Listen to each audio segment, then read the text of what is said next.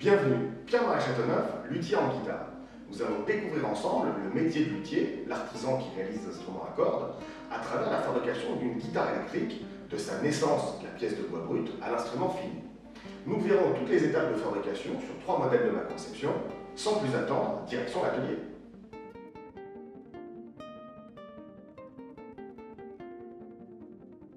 Première étape de la fabrication, donc le corps de la guitare qui sera en acajou.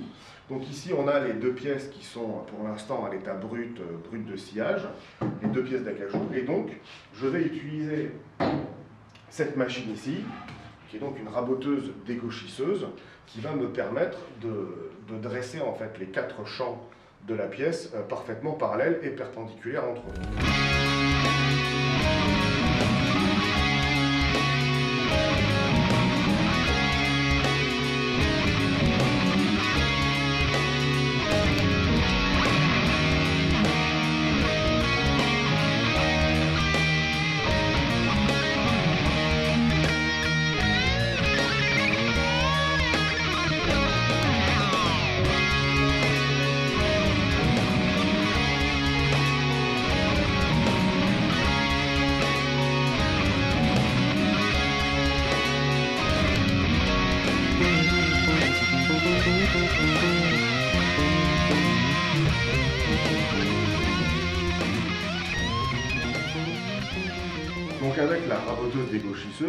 J'ai dressé les quatre champs. Donc dans un premier temps, vous m'avez vu sur la table de la dégauchisseuse mettre à plat une face et un côté. Et donc une fois que j'ai eu cette face et ce côté qui étaient parfaitement euh, perpendiculaires entre eux, je les ai retournés et je me suis servi de la position raboteuse pour mettre ce champ-là parallèle à celui-là et ce champ-là parallèle à celui-là, ce qui fait que j'ai donc un rectangle parfait où les quatre côtés sont euh, perpendiculaires et parallèles entre eux. Donc ça c'était l'étape euh, préliminaire et donc maintenant on va procéder au collage. Donc les deux pièces de, ce bel acajou africain donc sont là. On va mettre un petit coup de ponçage pour que ce soit bien propre et on va les coller ensemble pour constituer donc le corps de la guitare. J'utilise comme beaucoup de luthiers la référence de colle à bois qui est la marque Tide Bond. Donc là qui est, une, qui est une colle parfaitement adaptée à la lutherie donc on a un joint de collage qui est particulièrement euh, dur, ça résiste à la température, ça se ponce facilement et euh, on peut vernir dessus sans aucun problème. Donc, donc j'utilise pour le collage ce qu'on appelle des serre-joints dormants qui me permettent d'avoir les deux pièces de bois qui sont vraiment au, même niveau, comme ça elles vont pas trop, euh, elles vont pas trop euh, bouger au collage pour qu'il y ait le moins à poncer. Et donc bah, j'applique tout simplement de la colle sur une des faces. Voilà, ensuite j'utilise un outil particulier pour l'étaler, c'est-à-dire le doigt, pour bien en mettre sur toute la surface du joint de colle. Voilà, c'est pas la peine de trop en mettre parce que ça sert à rien, puis ça, ne fait que, que dégouiner, donc c'est toujours pareil, il faut en mettre la bonne quantité. Donc le principe de la colle à bois, c'est qu'elle pénètre en fait dans les pores du bois. Donc c'est toujours mieux d'une part de poncer avant pour avoir une meilleure adhérence par rapport à la surface qui est laissée quand on travaille avec des outils coupants comme la, dégauchisseuse. Et évidemment, il ne faut pas que le bois soit verni ou huilé ou avec le moindre, le moindre produit qui viendrait boucher les pores du bois. J'ai mis une pièce de... une pièce. J'ai mis une feuille de papier tout simplement pour éviter de mettre de la colle par terre et sur le plan de travail.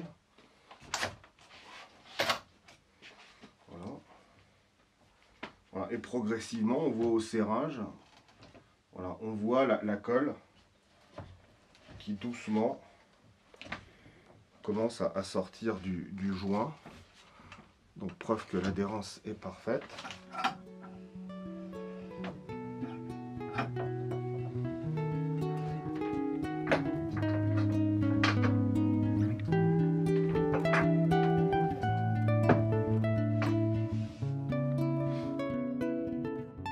Reposer euh, le temps qu'il faut. Donc pour la taille bond, il faut au minimum deux heures. Moi j'aime bien laisser sécher toute la nuit.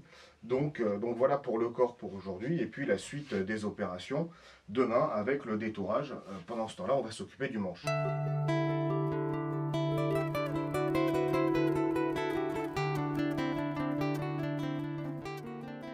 Planche d'érable ondée pour la fabrication du manche. Donc là, on ne s'en rend pas compte, puisqu'évidemment, c'est la planche euh, complètement euh, brute, euh, simplement débitée du tronc d'arbre. Donc si je vous montre la tranche, là, on a bah, ce, qu'on voit dans la forêt, c'est-à-dire c'est l'écorce du tronc d'arbre. Donc c'est de l'érable, qu'on appelle aussi sycomore, qui est une des essences les plus utilisées pour faire les manches, aussi bien en violon qu'en guitare. C'est le bois de référence de, de Leo Fender pour faire donc les, guitares de la même marque. Voilà l'érable à quoi il ressemble quand il est brut. Et une fois euh, travaillé, passer à la raboteuse dégauchisseuse comme on l'a vu pour euh, la fabrication du corps. Et avec un petit peu de ponçage, le bois bien propre et on voit les ondes perpendiculaires de l'érable. Voilà la raison pour laquelle on l'appelle érable ondé, puisque donc ça fait comme des ondes, comme des flammes c'est le terme anglais, un flame maple, qui illustre bien donc la, figuration, le, motif euh, assez géométrique, assez régulier. Euh. Donc là, sur cette guitare, il n'y aura pas de table, il y aura juste donc le, manche en érable ondé. Alors, ce qui est important pour les manches, c'est d'utiliser en fait une planche de bois qui est ce qu'on appelle sur quartier. Alors là, là c'est intéressant parce qu'on a les deux exemples. Donc c'est-à-dire que quand on prend la planche de bois, ce qui est intéressant, c'est d'avoir le, fil du bois qui est perpendiculaire, c'est-à-dire que c'est beaucoup plus rigide que si le fil du bois, là on voit qu'il commence à devenir un peu sous ce qu'on appelle de faux quartier, et quand le fil en fait est, parallèle à la, face la plus, la plus large, c'est ce qu'on appelle la DOS. Donc ça, on peut l'utiliser pour, euh, pour, les, pour les corps, mais pour les manches, moi je préfère utiliser, comme c'est le cas en guitare acoustique euh, et sur les violons, euh, ce qu'on appelle la coupe sur quartier, qui est beaucoup plus rigide. Je vous présente l'essence pour la touche, donc qui est un, qui est un palissandre de Madagascar. Donc voilà ce que, ce que ça donne une fois que c'est poncé. Et donc évidemment, euh, la touche euh, va recevoir donc les frettes. Et donc je la retourne. Il y a des rainures qui servent à encastrer euh, les frettes. Hein. donc on le verra plus tard quand on sera à ce, niveau-là. Et donc la, particularité des guitares, notamment des guitares électriques, on ne le retrouve pas sur les guitares classiques, c'est qu'on a un radius. Donc on voit que la touche en fait est une portion de courbe. Et donc c'est ça ça a un intérêt pour euh, faciliter le jeu du guitariste. C'est plus facile pour faire les, accords barrés, puisque c'est plus facile de, faire ça que de faire ça si la touche était complètement plate. Et c'est facile, c'est plus facile quand on fait ce qu'on appelle des tirés de cordes ou des bends. Donc euh, bon là évidemment on s'en rend pas bien compte puisque c'est juste la touche. Et donc moi j'utilise j'utilise un truss rod double action dit à barillet, donc, euh, donc ça ressemble donc à un barillet. Et euh, c'est la raison pour laquelle j'ai pratiqué une, ouverture, une petite lumière dans la touche, puisque le, le truss rod va venir se mettre en dessous, et donc on pourra accéder au truss rod. Ça, c'est un truss rod double action, c'est-à-dire qu'on pourra régler le manche dans les deux sens. Et l'intérêt euh, de ce système, c'est qu'on n'a pas besoin d'avoir l'outil euh, qui convient absolument. N'importe quelle petite tige, clé à laine, tournevis qui rentre dans le trou permet de, de régler le barillet. Et ensuite, ça veut dire que le réglage, donc le truss rod sera disposé comme ceci. Et donc le réglage se fait au talon, à l'endroit où il y a déjà le plus de bois, donc la tête ne sera pas euh, fragilisée. J'en profite pour rajouter deux tiges de renfort en carbone qui vont venir de part et d'autre du truss rod, ce qui me permettra d'avoir un manche euh, beaucoup plus rigide, parce que l'érable, bien qu'étant euh, l'essence de prédilection pour fabriquer les manches, et pas forcément l'essence la plus stable, donc, euh, les tiges de renfort en carbone permettent de prévenir plus efficacement contre les changements de température et d'hygrométrie, c'est-à-dire d'humidité dans l'air, euh, où le bois est assez sensible à, ce, type de variation. D'autant plus que j'aime bien les finitions huilées qui procurent un confort de jeu incomparable euh, un toucher, puis même une sonorité, on a presque un son un peu plus ouvert que quand on, quand on met euh, une finition vernie, et du coup, bah, les finitions huilées sont un petit peu plus sensibles aux variations de température et d'hygrométrie. Donc pour pas avoir de problème, et pour pas que le, musicien ait de désagréments, voilà, truss de double action qui permet de régler dans les deux sens, euh, ouverture pour le réglage au talon, ce qui permet de ne pas fragiliser la tête, et tige de renfort en carbone. Pour pouvoir incruster ce matériel et pouvoir ensuite coller par-dessus la touche. Et donc je vais pratiquer les défenses les, rainures avec donc une machine qu'on appelle donc une défonceuse qui fonctionne donc avec une fraise à bois. Voilà, donc fraise à bois qui, a la taille des pièces que je vais incruster. Et je vais me servir de, ce sabot qui va prendre appui donc en fait sur la pièce de bois et qui va me permettre de faire un rainurage parallèle pour avoir l'axe bien droit.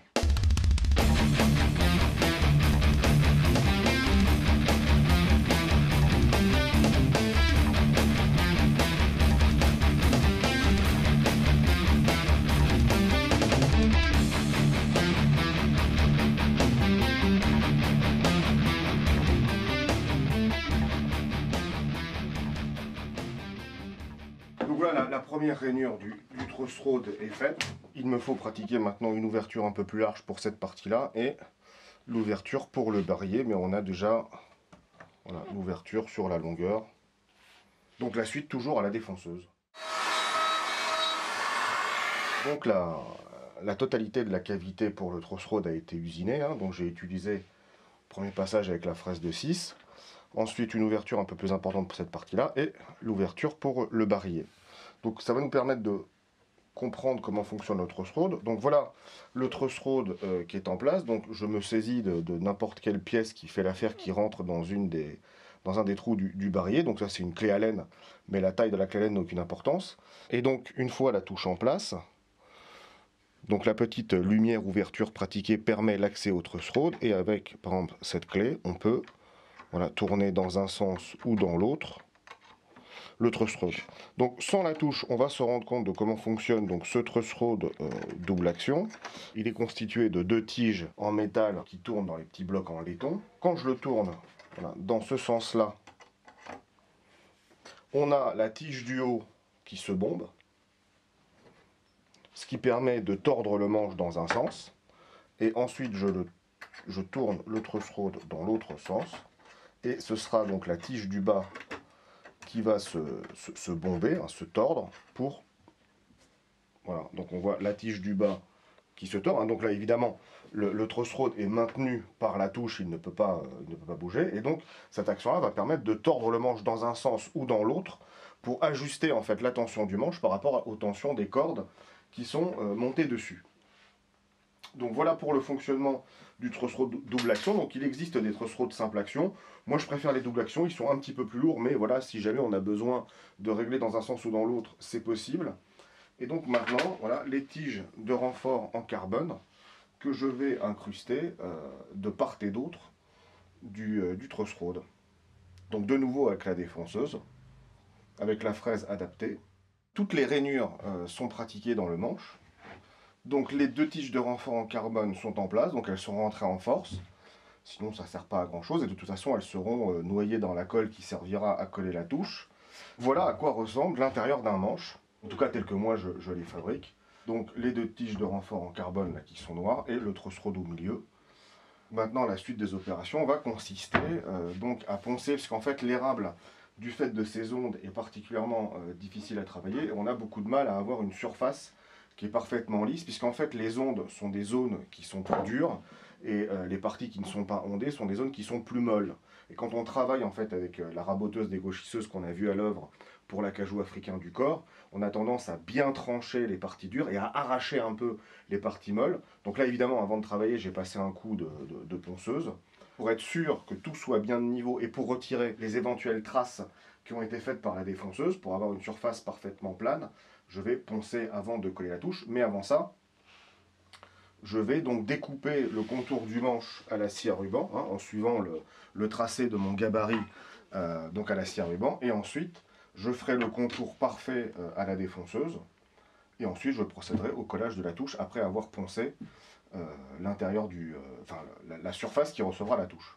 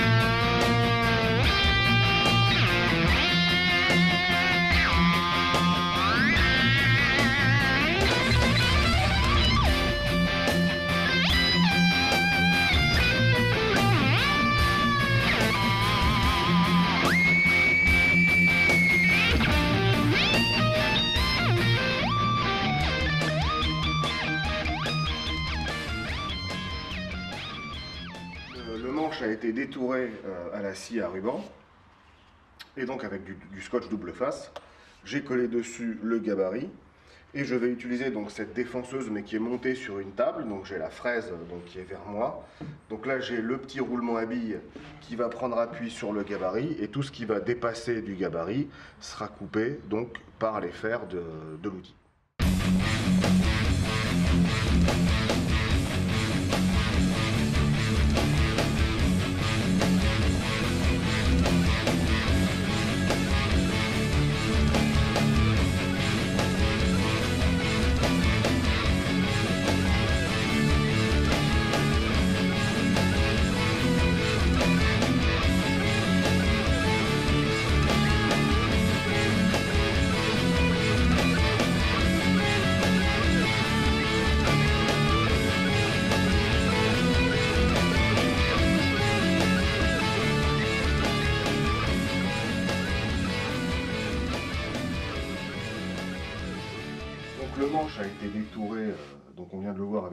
Sur la défonceuse sur table.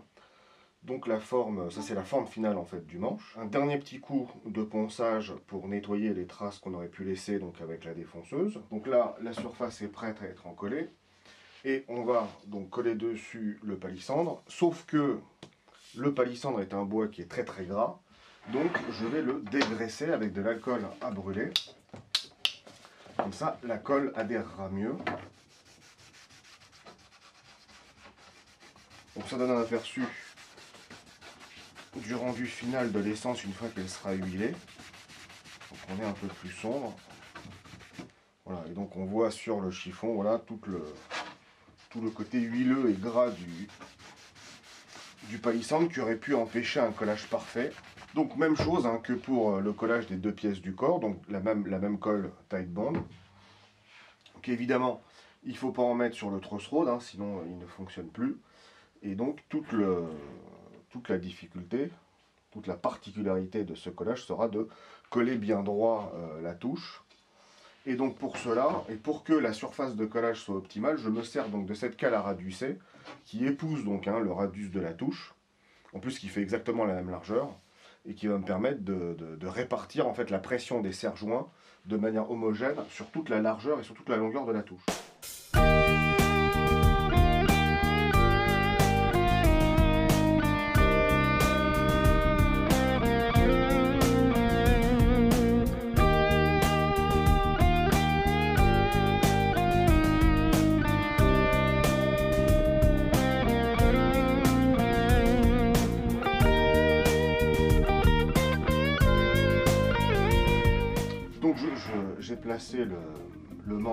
Sur un morceau pour être sûr de coller en étant bien droit. Je prends en sandwich tout ça. Ah, donc évidemment hein, la colle glisse un peu. Il faut pour cela ne pas serrer à fond d'un coup et y aller serre-joint par serre-joint.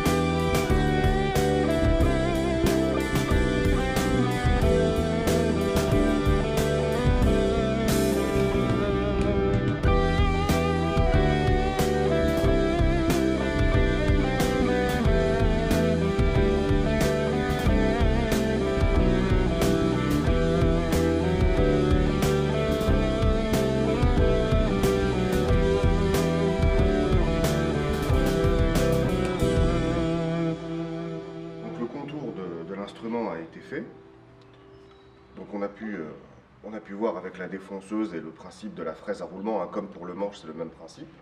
Donc toute la, tout le morceau de bois a la forme euh, finale.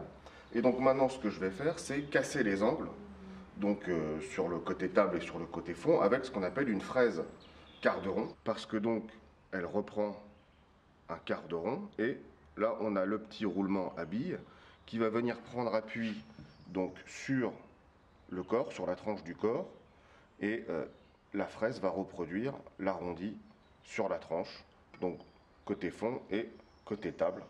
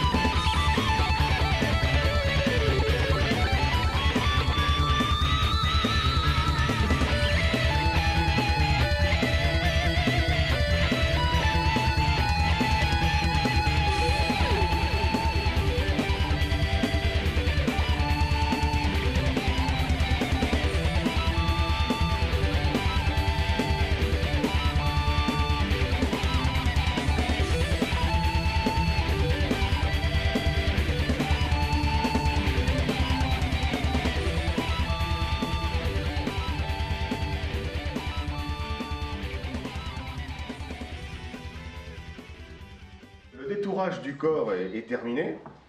Donc euh, on a vu les, différents plans. Et donc maintenant, l'étape euh, qui est pratiquement euh, l'étape la plus importante de la fabrication, c'est l'encastrement du manche. Donc, qui est ici, donc on a vu la touche qui a été arasée à la forme du manche, le petit arrondi de, de bout de touche que j'aime bien faire pour des raisons esthétiques. Alors maintenant, l'opération consiste à encastrer donc le manche dans le corps. Donc là, j'ai dessiné donc l'empreinte du manche dans le corps. Donc je vais utiliser un gabarit euh, qui reprend exactement euh, la forme du talon du manche. Et je vais reproduire donc cette forme dans le corps en acajou grâce à la défonceuse qui est équipée d'une fraise à roulement. Donc il y a le roulement ici qui va prendre appui sur le gabarit et donc la fraise va découper le bois. Pour ce modèle, j'ai choisi euh, d'utiliser ce chevalet, donc qui est un chevalet dit Around donc euh, qui veut dire enrouler autour, puisqu'en fait la corde rentre ici, elle fait le tour du chevalet et elle revient ici. Donc ça, ça remplace par rapport au modèle Gibson le pneumatique et le stop bar. Là c'est tout en un. Et donc du coup c'est un chevalet euh, qui est un petit peu haut, un petit peu épais. Et donc j'ai deux solutions. Euh, le, chevalet sera posé à peu près ici. Soit je n'enfonce le manche quasiment que de moitié pour avoir la corde un peu à hauteur, mais c'est assez inesthétique. Donc je vais choisir de faire une défonce qui sera légèrement inclinée, ce qu'on appelle un renversement, c'est-à-dire qu'il y a un angle entre le manche et le corps, pour que le manche soit à fleur du corps, mais que les cordes arrivent à la bonne hauteur. Donc ce sera sans doute probablement beaucoup plus parlant une fois que j'aurai fait la, défonce et que je vous montrerai directement ce que ça rend.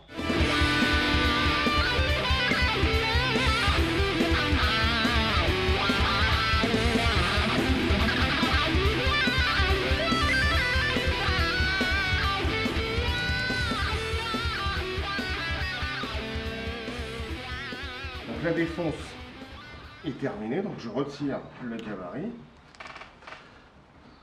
Et donc la défonce est le point, comme je le disais, le plus important. Et donc il est, il est très important de faire une défonce particulièrement ajustée parce que ça a une influence assez importante sur le son. Donc il faut que le manche rentre en force dans la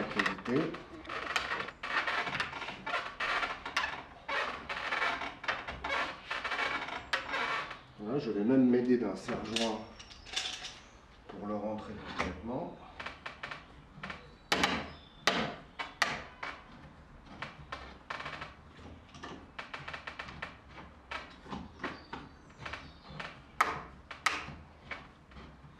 Voilà. Et donc la preuve d'une bonne jonction, c'est qu'on peut soulever le corps intégralement, sans, sans aucune vis, sans, sans aucune colle évidemment. Et donc ça reste, ça reste accroché à la guitare. Et donc là voilà, ça commence à ressembler à une guitare. On se rend bien compte donc de la, du renversement entre le manche et le corps. On voit que le manche part en arrière. On le repère avec la petite partie d'érable qui reste ici, qui est, qui est à peine un millimètre. Et on voit ici qu'il y a beaucoup plus d'érable. Donc on voit bien le mouvement, ce qui permet d'arriver au chevalet et d'avoir l'action, c'est-à-dire la hauteur des cordes, adaptée à ce, à ce type de chevalet. Je vais me servir de la règle du réglé d'un mètre. Je le pose hein, à fleur sur la touche et donc on voit que euh, la corde qui est symbolisée par le réglé arrive euh, juste à hauteur euh, du, chevalet. Donc preuve que le renversement est bon. Donc évidemment hein, le, chevalet après sera légèrement surélevé. Ici aussi hein, puisqu'il y aura les frettes. Et donc on se laisse un petit peu de, latitude de réglage.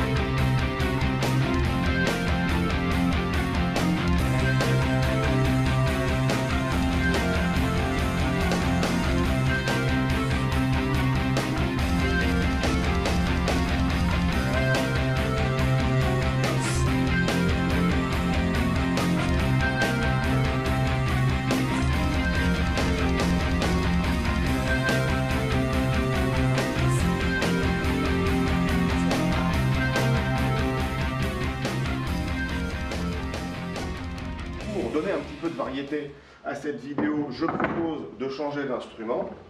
Et on passe donc cette fois-ci sur une basse, donc un autre design de, ma conception, donc qui est une basse en commande. Donc là, toutes les défonces et tous les perçages sont faits. Donc on reconnaît évidemment la défonce euh, du manche avec les trous pour les vis euh, qui ont été euh, pratiqués. Les perçages pour les vis du, chevalet. Ça, ce petit trou, c'est le, fil de masse pour pouvoir relier le chevalet au circuit électronique les trous pour les cordes traversantes, donc là avec les œillets en, métal qui vont retenir la boule de la corde, c'est le principe de la corde traversante. Euh, les boutons pour les potentiomètres, donc là c'est une base, donc il y a une électronique active 3 bandes. Le, bouton, euh, le trou pardon, pour le, pour le jack, les trous pour les strap-locks, donc on retrouve ici, et donc le trou, la grande cavité pour l'électronique, pour donc avec de la peinture graphite qui permet de créer une cage de, Faraday. Donc maintenant, la dernière opération qui reste à réaliser sur cette basse sont la sculpture des, chanfreins. Donc il va y avoir un chanfrein pour l'avant-bras, qu'on appelle chanfrein limbial, et un chanfrein euh, au dos, qu'on appelle chanfrein stomacal, donc euh, pour le ventre, pour l'estomac, et aussi un petit peu pour l'esthétique et pour le poids. Pour ce faire, je vais utiliser donc une variété d'outils, donc différents types de, de à bois, donc euh, j'en ai de trois formes. Donc celle-là est complètement plate, celle-là est courbe, et celle-là propose les deux profils. Et euh, cet outil, qu'on appelle une plane de, charron, qui est en fait une grande lame très coupante, qu'on tient donc avec les, deux mains, et euh, qui permet de sortir des gros copeaux et de, dégrossir assez rapidement le, le travail. Il y a aussi cet outil, je ne sais pas si je vais l'utiliser pour les chanfreins, je l'utiliserai tout à l'heure probablement pour la sculpture du manche. Donc c'est une, sorte d'outil hybride entre la râpe et le rabot. Donc ça se présente un peu comme un rabot, sauf que la surface euh, euh, qui, abrase le bois ressemble à, à une râpe en fait. Donc j'ai euh, fixé la basse au plan de travail pour pouvoir avoir mes deux mains libres pour travailler librement. Puis bon, c'est assez c'est assez euh, physique, vous allez le voir. Et donc avec un crayon, j'ai euh, délimité hein, globalement l'endroit où je vais travailler pour, euh, pour dessiner donc la forme de, mon chanfrein. Donc c'est ce qui permet d'avoir un petit repère visuel. Et donc je propose de rentrer dans le vif du sujet directement avec la plane.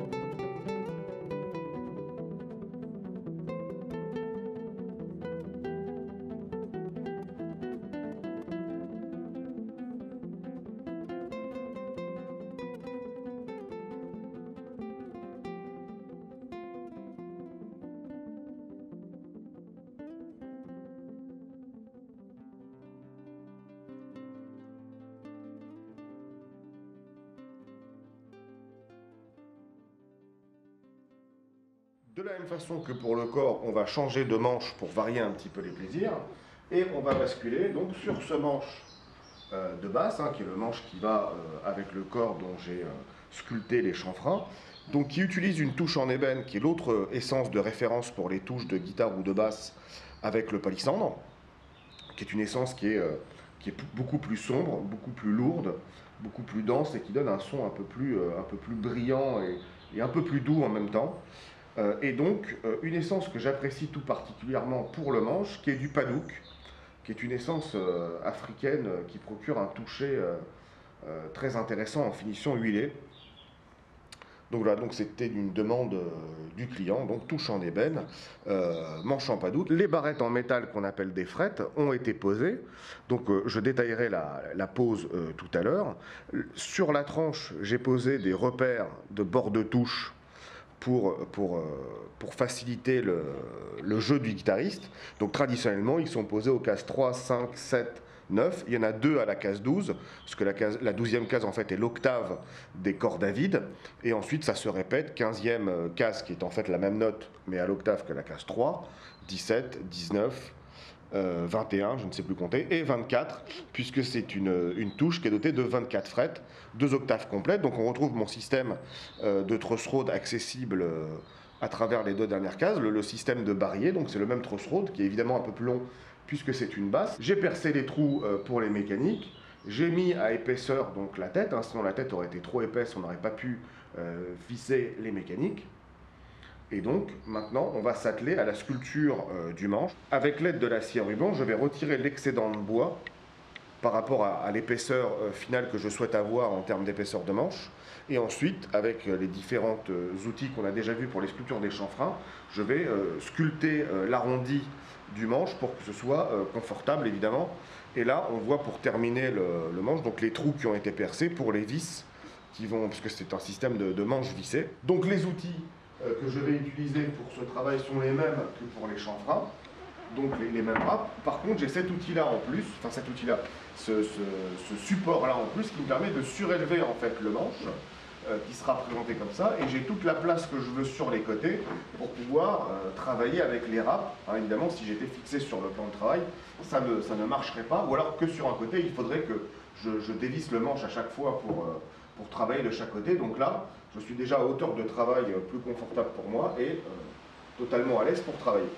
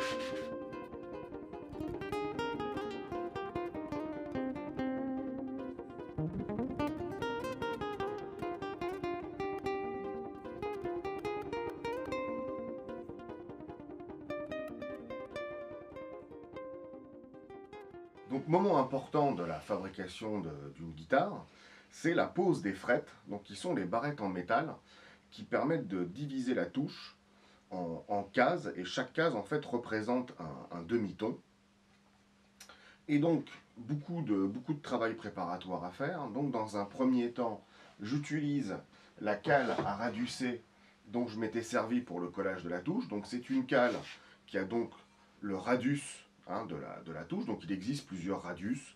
Ça, c'est un radius de 12 pouces c'est-à-dire 300 mm, qui est un radius que j'aime bien, qui est un petit peu intermédiaire. C'est le radius utilisé par Gibson, qui est, euh, qui est, un peu moins prononcé que le radius Fender, qui pose quelques problèmes de, jouabilité. Donc je ponce la touche pour euh, éliminer tous les défauts de surface qui ont pu apparaître ou les quelques traces qu'on a pu faire au moment du collage. Ensuite, une fois que j'ai radusé cette touche, que j'ai peaufiné le radius, j'utilise cette petite, euh, cette petite scie qui me permet de nettoyer en fait les gorges, euh, les, rainures des frettes, les gorges pour incruster les frettes, pour être sûr qu'il n'y a aucune, aucune poussière qui va venir euh, entraver la, le positionnement des frettes.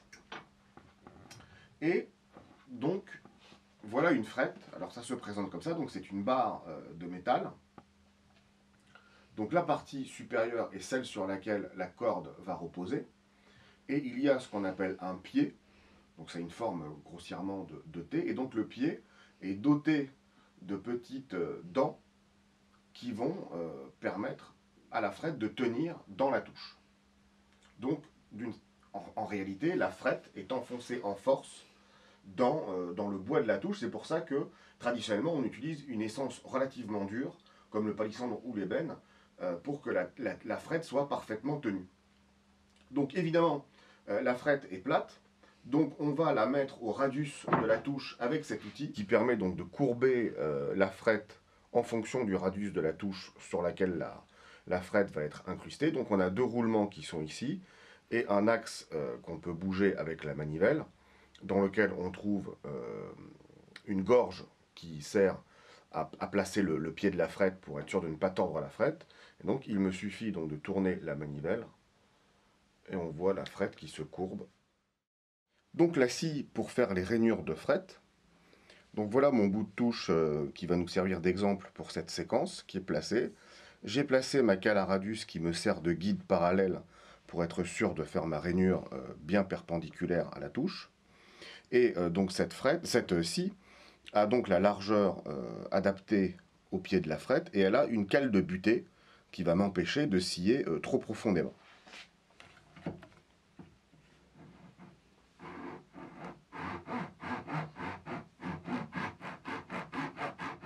Ma rainure est faite, ma frette est courbée, donc je la présente. Évidemment, elle est trop longue, donc je prends une pince adaptée pour la couper à peu près à la longueur de la touche. Moi, ce que j'aime bien faire, c'est couper le, bout du pied de fret pour ne pas qu'il soit apparent sur la, tranche. Donc j'utilise cet outil donc on appelle un fret tang nipper. Donc le, tang, en fait, c'est le, pied de fret. Donc c'est un coupeur de pied de fret. Et donc j'ai cette partie euh, qui vient, sectionner le, pied de fret. Donc je place euh, la frette, voilà, et on voit le pied, voilà, qui a été coupé ici, qui est maintenu là, évidemment. Donc je fais pareil de l'autre côté.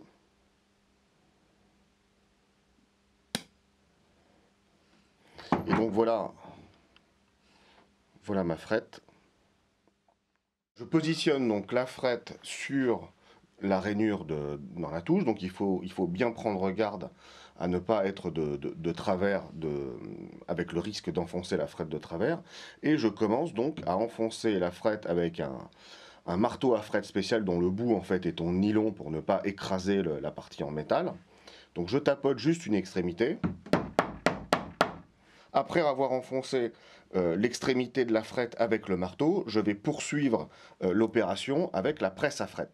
La presse à fret que voici, euh, qui est donc un mécanisme très simple de, presse, qui fait descendre donc en fait une partie avec une pièce qui a exactement le radius de la touche qu'on va fretter et qui est dotée d'une encoche pour épouser la forme de la frette. Donc on positionne le manche comme ça, la frette a déjà été engagée avec le marteau et on presse. J'appuie fermement. Et donc la frette est parfaitement incrustée dans la touche, elle épouse complètement le, radius. Donc ensuite, il faut procéder à l'arasage des frettes, donc couper les bouts qui dépassent avec une pince coupante. Et ensuite, avec une cale spéciale, j'arrase vraiment bien le bout de la frette alors là, évidemment, bon, il n'y en a qu'une seule. Et ensuite, j'ai un angle particulier pour pouvoir chanfreiner la frette, que ce soit confortable au jeu. Et une fois que tout ceci est fait, on obtient ceci. Toutes les frettes ont été posées, le pied de frette a été masqué, le travail sur le frettage est loin d'être terminé, donc maintenant il faut faire ce qu'on appelle une planimétrie, c'est-à-dire mettre toutes les frettes de niveau. Parce qu'effectivement, il peut y avoir quelques frettes qui ne sont pas toutes exactement au même niveau, et ça peut engendrer des problèmes de frise, c'est-à-dire que la corde, quand on va la jouer, va toucher sur une des frettes qui sera trop haute et va entraîner un petit buzz assez désagréable. Donc on le, on vérifie avec cet outil. Donc là, je sais que j'ai des, euh, des, droites qui sont parfaitement droites, et là, par exemple, je place euh, mon outil comme ça, donc on prend les frettes 3 par 3, et si l'outil bascule de droite à gauche, ça veut dire que la frette du milieu est trop haute. Donc là, je suis bon, mais si je me déplace sur le bord, on constate que l'outil bouge, ça veut dire que juste le bout de cette frette-là, de la douzième frette, est un peu trop haute. Donc on va les planifier. Donc pour se rendre compte de ce qu'on fait comme travail, je vais utiliser tout simplement un marqueur et je vais euh, mettre du noir sur toutes les frettes. Comme ça, je vais pouvoir, euh, à fur et à mesure que je pense, me rendre compte des endroits où je n'aurais pas poncé. Donc évidemment, si euh, certaines parties de la frette sont encore noires, c'est que je n'ai pas poncé dessus. Et si le noir est complètement parti, c'est que la frette a été poncée. Pour le travail de planimétrie des frettes, euh, personnellement, je préfère utiliser des cales diamants, donc qui sont des petites cales euh, en métal, qui ressemblent beaucoup en fait à des pierres à affûter les, outils comme les ciseaux à bois. L'avantage du diamant étant qu'il est quasiment inusable, enfin en tout cas quand on le confronte au fret par rapport euh, au papier abrasif qui lui euh, pourrait justement euh, s'user de manière inégale et donc avoir une, qualité de travail qui est elle-même inégale. Donc l'idée évidemment étant de respecter le radius, puisque la cale elle est plate, elle n'est pas, pas radiusée,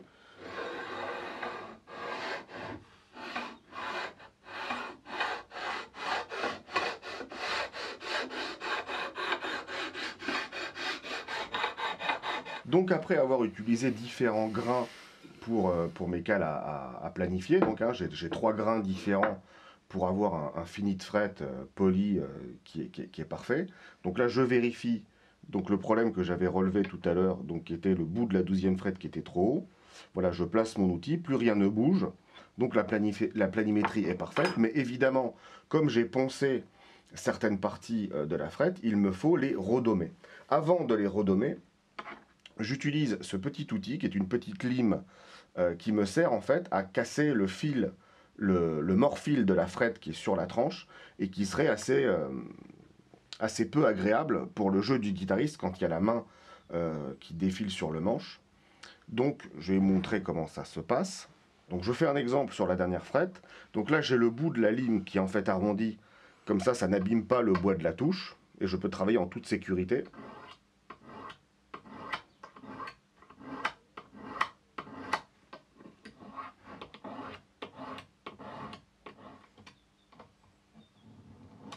Voilà, et arrivé à un certain point, donc je retourne la, lime, qui elle du coup est plate et va, manger un petit peu le bois, pour supprimer le, tout petit bout là de, métal qui reste, pour avoir quelque chose de parfaitement arrondi et de parfaitement confortable pour le musicien.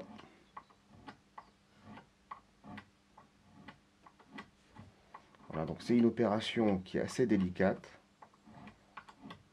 tout le monde ne le fait pas. Moi, j'aime bien le faire, notamment parce que j'utilise beaucoup de finitions huilées. Et donc, il y a, souvent un petit retrait de la touche. Ce qui que le bois se rétracte un petit peu. Et donc, on a l'impression que la frette sort de la touche. Donc, évidemment, la frette n'a pas bougé. C'est le bois qui s'est rétracté. Et donc, pour prévenir ce genre de désagrément, avec une frette bien polie, bien arrondie, même si elle sort un tout petit peu, ça reste très agréable au jeu et ça ne pose pas de problème. Donc il reste toute, la finition à faire, et si on peut faire un gros plan, on va se rendre compte de la différence entre cette frette-là qui a été arrondie et cette frette-là qui n'a pas été touchée.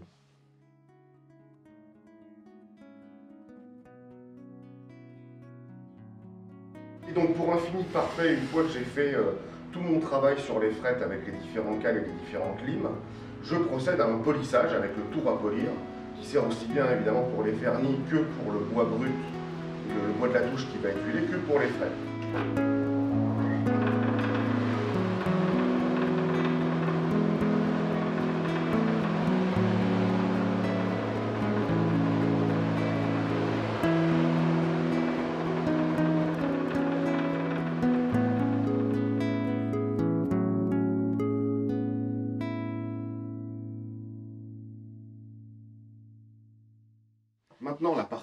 Finition, hein, qui est la partie euh, primordiale, euh, encore une fois, de la fabrication d'une guitare et qui est sans doute la partie la plus longue et la, plus minutieuse. Donc après plusieurs heures de, ponçage du bois, on obtient une surface donc parfaitement lisse, dépourvue de toute rayure qu'auraient pu laisser donc les, outils qu'on a utilisés donc pour sculpter hein, les, chanfreins. Donc, euh, donc une fois de plus, on a changé d'instrument pour varier un petit peu les plaisirs. Donc là, une guitare avec beaucoup plus de chanfrein euh, que ce qu'on a vu euh, précédemment. Il existe différents types de finitions. donc la finition huilée simple qu'on utilise principalement pour les touches, mais avec laquelle on peut faire entièrement des instruments. Et ensuite les, finitions dites vernis. Il existe différents types de vernis des vernis à base d'huile, des vernis à base d'alcool, des vernis à base d'eau. Moi j'aime bien le vernis euh, huilé, euh, true oil en anglais, euh, qui pourrait induire en erreur, parce que si on essaie de traduire littéralement true oil, ça veut dire huile véritable, alors qu'en fait c'est un vernis à base d'huile, que j'ai utilisé pour la finition de cet instrument. Et il se trouve que je dois la refaire, donc ce sera l'occasion de vous montrer le processus à l'image. Donc, j'ai déjà une, couche de fondure qui est appliquée euh, euh, sur l'instrument. J'ai mon trouole que je vais remplacer et pour ce faire, je vais faire un ponçage extrêmement euh, minutieux, un ponçage dit à l'eau. Donc j'utilise un papier spécial que je trempe dans l'eau, ce qui permet en fait d'avoir une adhérence parfaite du papier abrasif sur la surface, donc ça va complètement épouser la forme de la guitare, et surtout, euh, comme c'est un grain qui est très très fin, donc là c'est du 800, euh, le, grain est tellement fin que si on ponçait à sec, la, poussière viendrait immédiatement en fait euh, gaver l'abrasif, et au bout de quelques coups de ponçage, ça ne fonctionnerait plus. Donc là, avec l'eau, on peut poncer beaucoup plus longtemps. Donc je, positionne ma petite cale, voilà, et il suffit simplement de poncer Donc ce qui me permet sur cet instrument-là, c'est une, refinition, hein, je, je, ne, la finis pas pour la première fois, et ça me permet d'effacer les traces d'utilisation qui ont été faites et d'appliquer une nouvelle finition. Un ponçage très fin sur le corps et en particulier sur la table a été effectué. Donc on voit certaines zones hein, qui sont beaucoup plus blanches où la finition euh, d'origine a complètement été retirée et certaines zones qui sont restées un peu plus sombres où euh, la finition est encore en partie présente. Donc je vais euh, considérer que c'est suffisamment poncé pour faire un premier test et pour faire une démonstration donc de la, de, de la finition que j'ai choisie pour cet instrument qui est donc une finition dite true oil dont je parlais tout à l'heure, qui est un vernis à base huilée, euh, qui s'applique comme un vernis au, tampon euh, qu'on retrouve beaucoup sur les guitares euh, classiques et sur les instruments du quatuor, et qui est une finition que j'aime beaucoup, qui est un peu à mi-chemin entre la finition huilée traditionnelle et le vernis brillant type cellulosique ou polyuréthane. Donc on applique simplement, on prend un petit morceau de, de chiffon, de coton, on en verse un petit peu et on l'applique. Et donc l'intérêt du l'un des intérêts du, du c'est qu'il a une légère teinte ambre qui permet de, relever un petit peu le, la couleur naturelle du bois, de révéler l'esthétique du bois. Et là, on se rend bien compte entre cette zone-là qui n'a pas été encore traitée et la zone supérieure. Donc évidemment, il s'agit d'une première couche. je vais en mettre plusieurs. Donc là, la première couche est bien bue par, euh, par le bois, et au fur et à mesure que je vais rajouter des couches, l'effet brillant euh, sera intensifié de plus en plus. Et comme pour les frettes et la touche, la guitare sera polie, avec le tour à polir.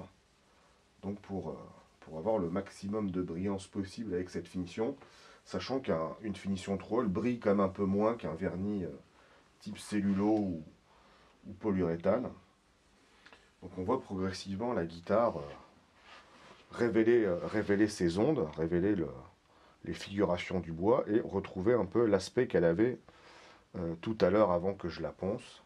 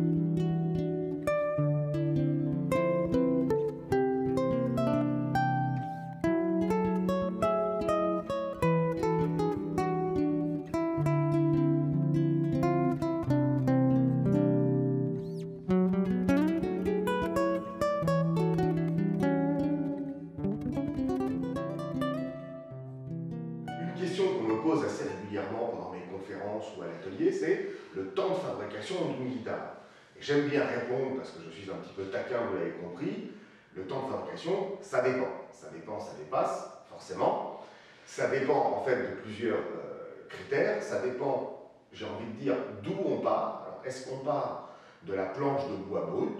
Donc nous avons vu euh, pendant la visite de l'atelier des exemples de la fabrication du manche en érable, où je suis vraiment parti de, la planche d'érable à peine sciée du, tronc d'arbre, ou si on a déjà acheté chez un fournisseur de bois de lutherie des exemples de pièces qui étaient déjà un peu prédécoupées. C'était le cas pour mes deux pièces d'acajou qui ont constitué le corps de la Thelonius, euh, dont, nous avons vu les étapes de fabrication. Donc, premier critère, d'où est-ce qu'on part? Est-ce qu'on a déjà des pièces prédébitées ou est-ce qu'il faut vraiment débiter du tronc d'arbre? Ensuite, ça dépend du niveau d'équipement euh, de notre atelier de lutherie. moi, j'ai certains collègues qui travaillent dans des espaces plus confinés que le mien, avec moins de machines. Moi, j'ai déjà un ensemble de machines assez, assez cohérent et d'assez bonne taille. Je pourrais éventuellement gagner du temps en ayant certaines machines encore plus grosses. Donc là, ça dépend du niveau d'équipement, de la quantité de gabarit hein, qu'on va utiliser, si on fait beaucoup d'opérations à main levée euh, ou pas. Et ça dépend aussi euh, du fait de fabriquer une guitare à une seule à la fois, ou si on en fabrique plusieurs en même temps, ce qui sur certaines opérations, notamment les opérations de rabotage et de dégauchissage, on peut gagner du temps si on débite plusieurs morceaux à la fois, ou si on fait la guitare une par une. Autre élément euh, important qui va déterminer le, temps de fabrication, ça dépend du nombre de pièces que l'on fabrique. Soit, dans mon cas, on se contente de la partie, j'allais on se contente de la partie tri, Certains métiers fabriquent leur propre micro. Moi, je dois dire que bobiner une fibre de cuivre autour d'un aimant et de plomb métallique, ça ne me passionne pas outre mesure. Je préfère laisser ça euh, à mes collègues qui le maîtrisent le mieux, notamment Nicolas Mercadal de Benedetti ou Jérémy Bémois d'Aspect Custom Pickup avec qui j'aime bien travailler. J'utilise aussi euh, d'autres marques, aussi bien industrielles qu'artisanales. Euh, certains fabriquent des chevals en bois, c'est assez rare des guitares électriques, mais ça peut exister.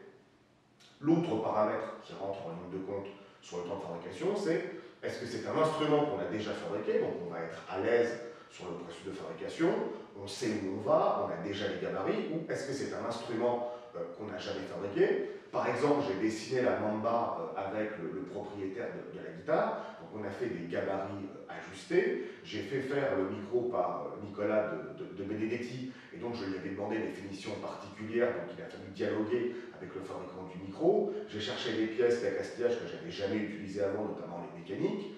Euh, il a fallu dessiner euh, et se mettre d'accord avec le, client pour dessiner donc la forme de la guitare, renvoyer les dessins, dire tiens je voudrais que tu modifies telle courbe, telle courbe. Donc tout le processus de, création de la guitare déjà sur le papier prend du temps et donc évidemment c'est consommateur de beaucoup plus de temps si la guitare on a déjà fait tous les gabarits, déjà tous les dessins.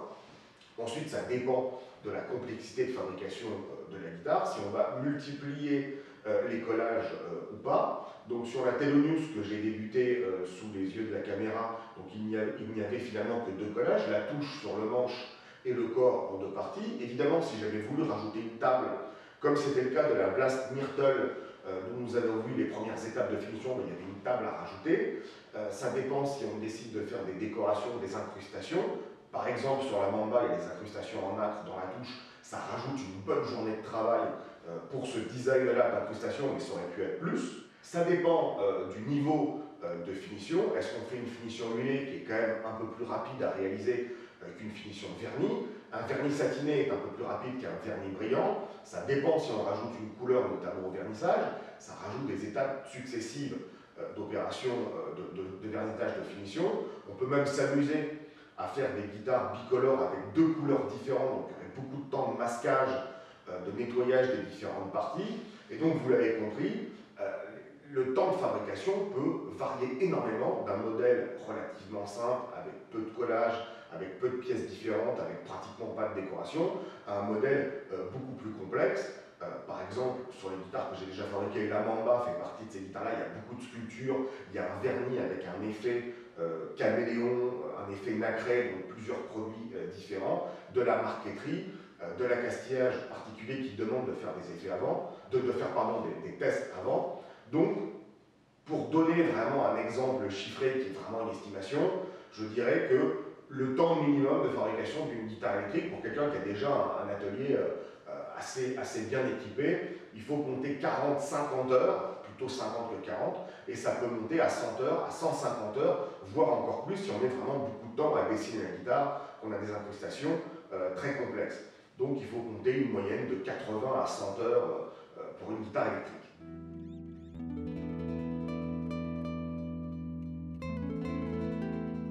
Guitare électrique à corps plein a été commercialisée pour la première fois en 1950 par Leo Fender, la marque Fender évidemment, et elle se caractérise par un corps, donc à corps plein, un corps massif, il n'y a pas du tout de caisse de résonance, contrairement à une guitare acoustique, mais le fonctionnement est sensiblement le même, c'est-à-dire que la corde est attachée au chevalet d'un côté, au mécanique de l'autre, elle repose sur le sillet qui détermine donc le diapason, c'est-à-dire la longueur de la corde vibrante, plus ce diapason est long, plus le son est grave, ce qui explique la différence de diapason entre une guitare et entre une basse.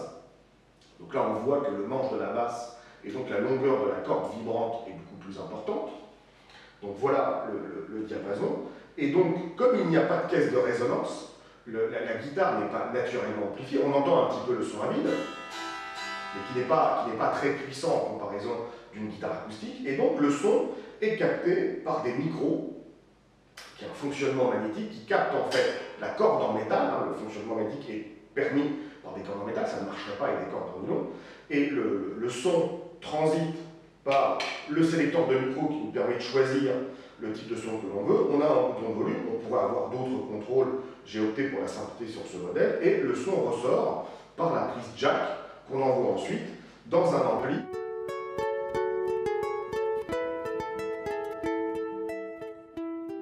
Nous allons voir de plus près les différents éléments qui composent la guitare électrique.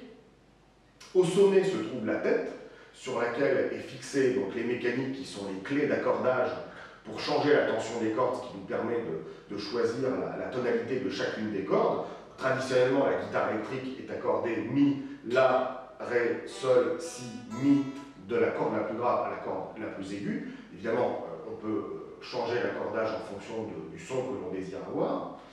Euh, ensuite, on trouve à la base de la tête le sillet, qui est cette petite pièce qui permet de, séparer les cordes pour avoir l'écartement souhaité. Et on arrive donc sur le manche, hein, la tête étant le sommet du manche, le manche qui est constitué sur sa face avant euh, d'une touche avec des barrettes en métal qu'on appelle des frettes, et donc chaque frette est placée de manière extrêmement précise pour obtenir euh, des demi-tons. C'est-à-dire qu'à chaque fois qu'on va placer son doigt sur une frette, plus on va se rapprocher du corps de la guitare, plus on va ajouter un demi-ton à chaque fois et on va avoir un son beaucoup plus aigu, le son à vide, le son à la deuxième classe qui est exactement la même note mais une octave plus haut. Et au dos de la guitare, évidemment, euh, la pièce de bois a été ouvragée, a été arrondie pour que ce soit confortable pour la main du guitariste. C'est pour cela qu'on appelle ça une poignée, puisqu'on la, la prend dans la main. Nous arrivons ensuite au corps, qui donc, la guitare électrique se caractérise par un corps plein, hein, il n'y a pas de caisse de résonance, qui euh, donc est ensuite usiné, on le verra euh, dans les différentes séquences d'atelier, avec des cavités qui vont recevoir donc les micros, le chevalet, et au dos, il y a donc une cavité électronique qui reçoit donc tous les éléments électroniques, le câblage de la guitare. Là, on a euh, les cordes qui ressortent, ici, puisque c'est un modèle avec les cordes traversantes.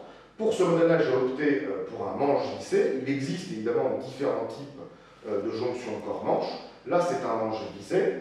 La Waukesha, une autre guitare électrique de mon design, en hommage à Lester Colfus et la firme euh, Gibson. Donc, elle se différencie de la, de la Blast par donc, son chevalet. Ici, nous avons un chevalet à plat. Et sur la Waukesha, nous avons un chevalet type tunomatique, qui est euh, le, chevalet qu'on retrouve quasiment sur toutes les Gibson. Les cordes sont beaucoup plus hautes par rapport à la table. Donc, on a une esthétique différente.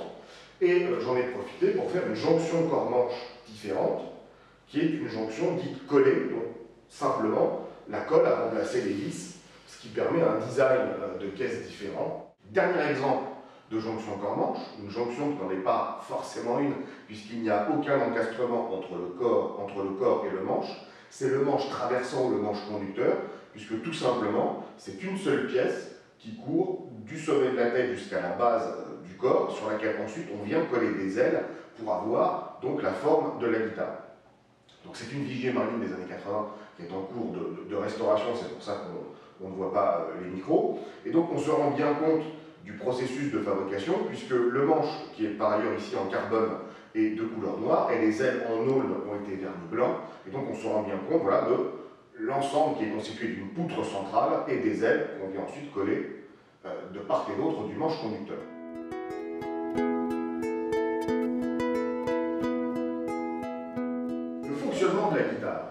gratte la corde évidemment, qui se met à vibrer et le son est capté par le, micro dans le cas d'une guitare électrique solid body. Là où ça devient intéressant et que tous les matériaux utilisés dans la fabrication d'une guitare rentrent en ligne de compte dans le son, c'est que la corde qui vibre est influencée par tous les matériaux avec lesquels elle est en contact. Ça commence par le ponté qui repose lui-même sur le chevalet, et euh, le scier, évidemment une frette hein, si on joue une note frettée, et ensuite euh, la corde est attachée à la mécanique. Donc la corde se met à vibrer, elle fait vibrer la mécanique, le scier, le ponté. Ces pièces à leur tour se mettent à vibrer, les mécaniques font vibrer le bois du manche, tout comme le scier qui fait vibrer la touche. Le manche qui vibre fait vibrer le corps, et les cordes, de nouveau, à l'autre extrémité, font vibrer le ponté, qui font ensuite vibrer le socle euh, du chevalet euh, auquel, euh, sur lequel est attaché les pontés, et ensuite font vibrer le bois du corps. Et donc on a une sorte de cercle vertueux, c'est-à-dire que la corde se met à vibrer, elle fait vibrer donc les pièces sur lesquelles elle est attachée, et par sympathie, les pièces qui sont attachées aux pièces sur lesquelles sont attachées la corde se mettent à vibrer. Donc on a une résonance comme ça qui est amplifiée par les différents matériaux, et chaque matériau utilisé dans la construction d'une guitare va avoir des propriétés mécaniques différentes et vont vibrer de manière différente. Et donc dans le cas du bois, euh, en fait, le bois ne renvoie pas la totalité de la vibration, puisque donc la corde se met à vibrer, donc l'énergie vibratoire se transmet donc à la castillage, c'est-à-dire les pièces métalliques sur lesquelles est attachée la corde, les mécaniques et le chevalet, et ces pièces-là, par sympathie, par résonance, font vibrer les pièces de bois, sauf que chaque matériau va retenir en fait une partie de la vibration métallique de la corde. Ce qui fait qu'on arrive comme ça à colorer le son de l'instrument en fonction du choix des bois, de la densité des essences qu'on va utiliser, qui vont renvoyer plus ou moins, plus exactement, qui vont absorber plus ou moins une partie de la vibration. C'est pour cela que souvent, on trouve par exemple que l'acajou procure un son assez chaud, assez moelleux, dans le cas de la guitare, assez bas médium, hein, puisque l'instrument reste un instrument, la guitare reste un instrument relativement médium, c'est pas super aigu ou super grave. Pourquoi? Parce qu'en fait, l'acajou absorbe une partie des fréquences aiguës. Donc du coup, au, final, on entend que la résonance euh, relativement bas médium, entre guillemets grave dans le cas d'une guitare. Et donc voilà comment les différentes pièces qu'on va utiliser dans la conception d'une guitare vont colorer la perception qu'on va avoir de la vibration de la corde. Et donc le son de la guitare est dépendant à la fois des matériaux qu'on va utiliser pour sa conception, donc le bois du corps, le bois de la touche, le bois du manche, le matériel qu'on va utiliser pour le scier, il peut être en os, en matériaux composites comme le Tusk que j'aime beaucoup, il peut être dans les guitares industrielles en plastique pour des raisons purement économiques, les matériaux qui vont être utilisés pour la fabrication des mécaniques, donc différents types d'alliages de métal, de l'aluminium, de l'acier et du laiton. Même chose pour le chevalet, qui éventuellement peut être en bois, ça c'est plutôt pour les instruments acoustiques. Traditionnellement, dans les guitares on a des chevalets en, métal, de l'aluminium, du laiton ou de l'acier sont les deux matériaux qu'on rencontre le plus souvent. Donc les matériaux qu'on va utiliser euh, rentrent euh, en considération dans la soudure, mais également euh, la conception de l'instrument qui est un petit peu la recette du luthier, c'est là qu'on va choisir d'utiliser un manche vissé, un manche collé, d'utiliser une table rapportée, c'est-à-dire une table qui sera collée sur la caisse. Elle peut être plate ou bombée pour des raisons esthétiques. Et évidemment, on va euh, ajouter euh, la couleur sonore de l'essence de bois qu'on va rajouter en table. Donc par exemple, sur la basse qui est ici, c'est un corps en acajou sur lequel j'ai rajouté une table en Bubinga. Donc je, profite des caractéristiques euh, mécaniques, donc des caractéristiques sonores de ces deux essences, ce qui me permet d'avoir un son différent euh, si j'avais fait la basse entièrement en acajou ou si je l'avais fait entièrement en Bubinga. Là, je mélange les qualités euh, des deux instruments. En l'occurrence, le Bubinga est une essence qui est quand même un peu lourde. Donc si j'avais fait la caisse entièrement en Bubinga, j'aurais eu un instrument trop lourd. Et je le disais ensuite, donc, la, manière dont on va fabriquer la guitare en fonction des renversements euh, qu'on a vus hein, dans la partie fabrication avec la conception du manche de la Thelonious. Donc il y a un renversement, c'est-à-dire qu'il y a un angle pour arriver sur le chevalet. Donc l'angle que fait les cordes au niveau du chevalet, au niveau de la tête, l'angle que fait le manche, le, choix de la jonction corps-manche, le nombre d'essences qu'on utiliser, tout ça rentre en ligne de compte et fait qu'avec un même diapason, un même jeu de cordes et un même accordage, on a, même sur une guitare électrique, même si les micros sont identiques, on a quand même un son différent, puisque la lutherie rentre en compte dans le son de la guitare, même si ce son est capté par des micros, restitué ensuite par un ampli.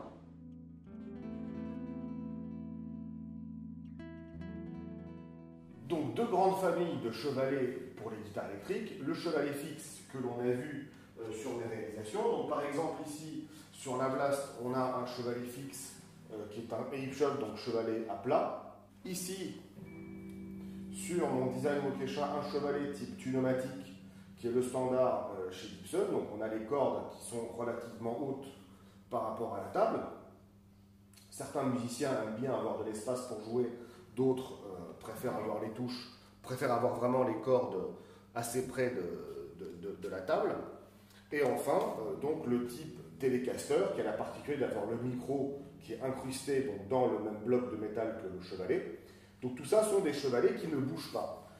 La deuxième grande famille de chevalets est le, chevalet dit vibrato, qu'on a ici sur cette Parker Fly, donc qui est un, chevalet qui se présente un peu comme un shot, sauf qu'il est monté sur deux axes qui lui permettent de, de, bouger. Donc par exemple, ça va être beaucoup plus parlant avec un exemple sonore. Donc je joue un accord. Donc là je suis en je peux éventuellement le moduler en bougeant un petit peu mes doigts, mais si vraiment je veux une modulation plus importante, voilà, j'actionne cette manette qui me permet de faire bouger le, vibrato. Alors je peux arriver même jusqu'à des exemples un peu extrêmes de ce style.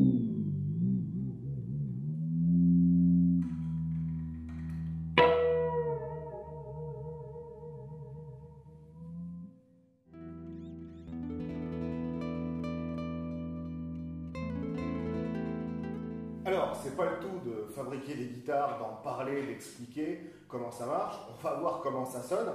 Évidemment, sous le regard bienveillant de Jim Hendrix, donc attention à ne pas faire trop de fausses notes. Et là, je m'adresse à moi-même.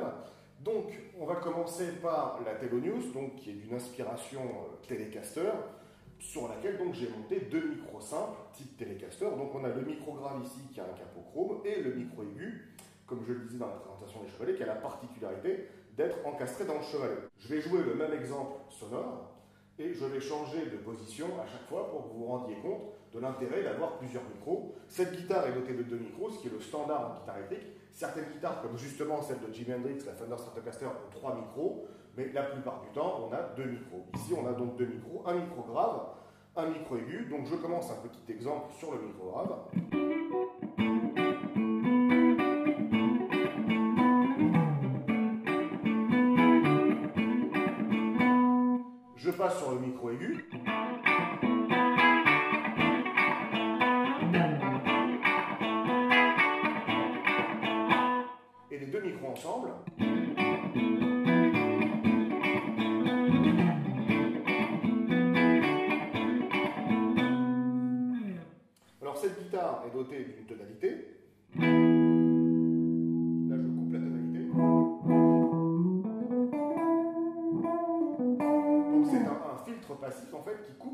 Fréquences aiguës. Donc c'est intéressant pour jouer des plans un petit peu jazzy. Pour vous donner le- l'exemple, je remets la tonalité à fond, donc j'ai le, son normal du micro, je rejoue le même plan. Donc on a un son beaucoup plus claquant. Sur cette guitare, je me suis amusé à, à rajouter une petite fonctionnalité par le biais d'un potentiomètre push-pull, c'est-à-dire qui, qui- qui a deux positions, c'est un, c'est un switch en fait intégré dans le, dans le potentiomètre. Et donc quand je relève ce potentiomètre, ça me sort du circuit en fait le bouton de volume et le bouton de tonalité. Donc par exemple, admettons que j'ai un réglage avec le volume avec le volume un petit peu baissé et la tonalité complètement coupée. Ce qui fait que j'ai un son relativement faible et sourd. Hop, je tire ici.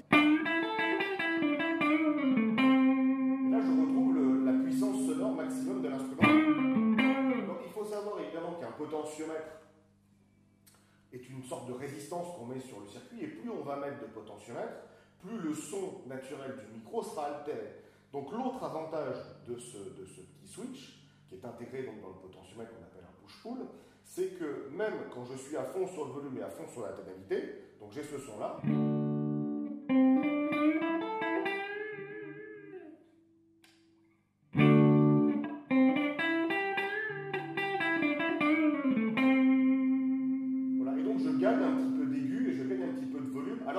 à fond. Donc là, j'ai le potentiomètre enclenché. Hein.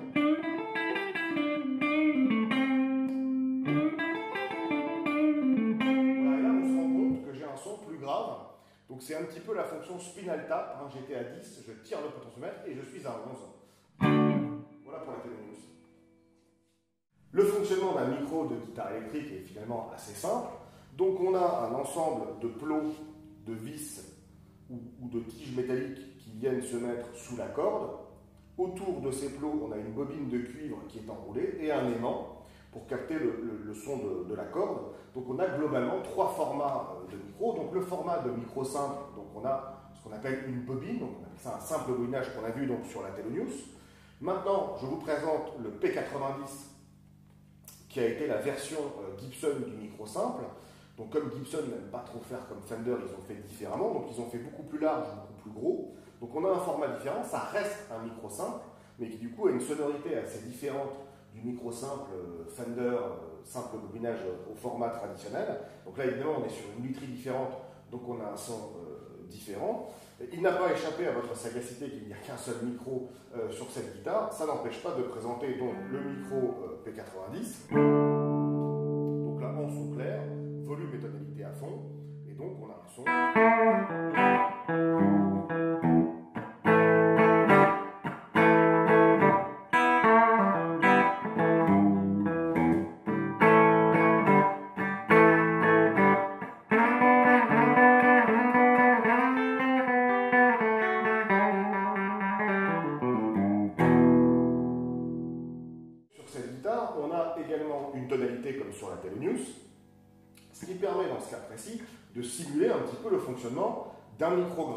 Donc là, si je joue une petite phrase euh, en note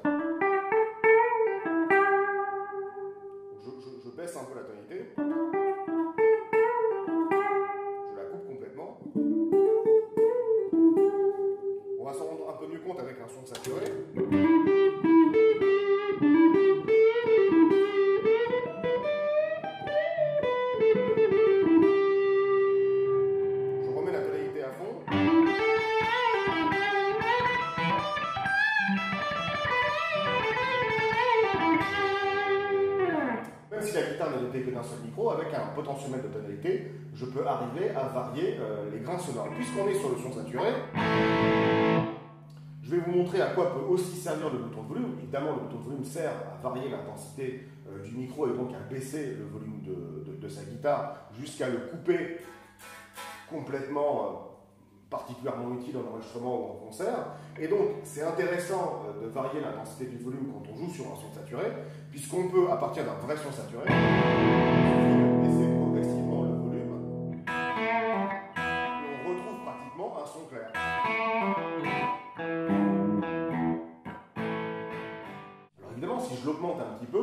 à obtenir le type de son qu'on appelle crunch.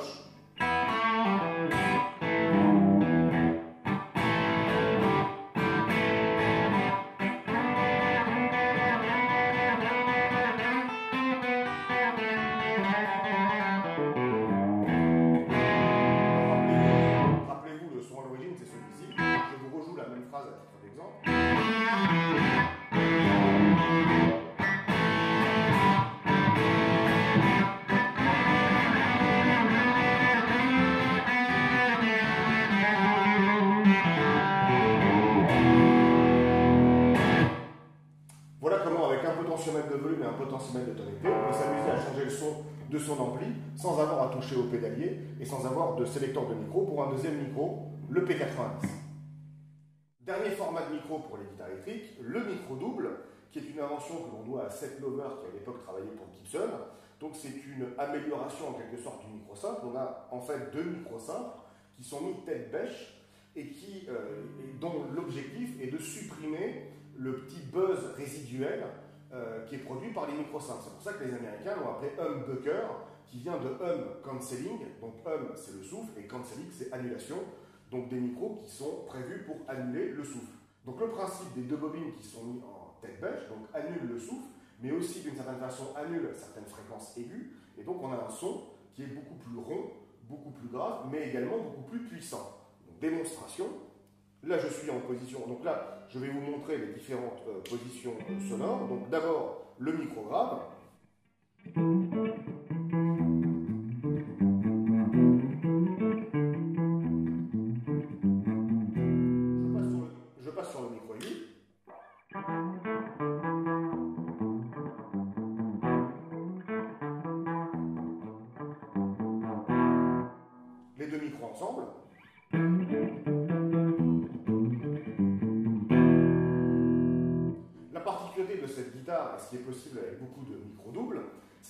D'un petit switch que l'on voit ici, qui a la même fonction qu'un push-pull, sauf que là je voulais l'avoir séparément, c'est de splitter euh, les micro-doubles, c'est-à-dire littéralement couper une bobine et revenir au fonctionnement d'un micro simple. Donc avec un micro double, on peut avoir le son d'un micro double et le son d'un micro simple, avec un petit switch ou avec un potentiomètre push-pull.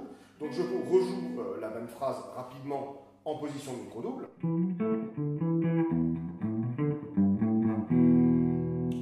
passe en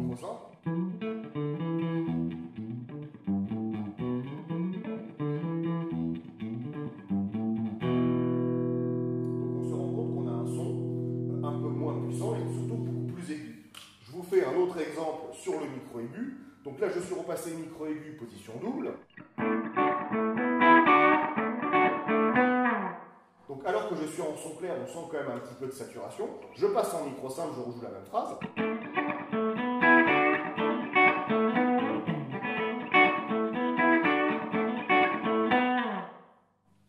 se rend compte que le son est moins puissant, ça sature, ça fait saturer un petit peu moins l'ampli, et on a un son beaucoup plus clair, beaucoup plus, euh, beaucoup plus aigu. Alors l'intérêt du micro-double, l'intérêt, l'une des caractéristiques du micro-double, c'est particulièrement bien sonner en son saturé. Donc je passe en son saturé, et je vous rejoue les petites phrases que j'avais jouées euh, précédemment.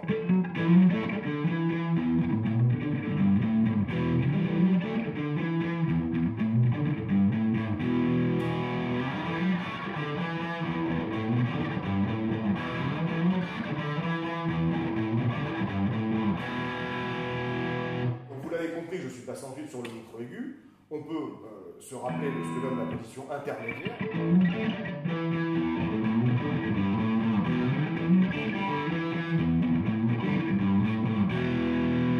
Donc comme on a vu avec la Terminus, en transposition intermédiaire, on mélange tout simplement le son du micro grave et le son du micro aigu, et donc on a un son lui aussi intermédiaire qui mélange à la fois l'agressivité et le tranchant du micro aigu et la rondeur du micro grave. Donc je repasse en son clair pour qu'on se rende bien compte des variations sonores. Je repasse en, micro splitté, donc là les, les micros doubles fonctionnent à la manière de micro simple. Je vais simplement vous jouer un accord en micro grave. Je passe sur le micro simple, sur le micro aigu, pardon. Son Je mélange les deux.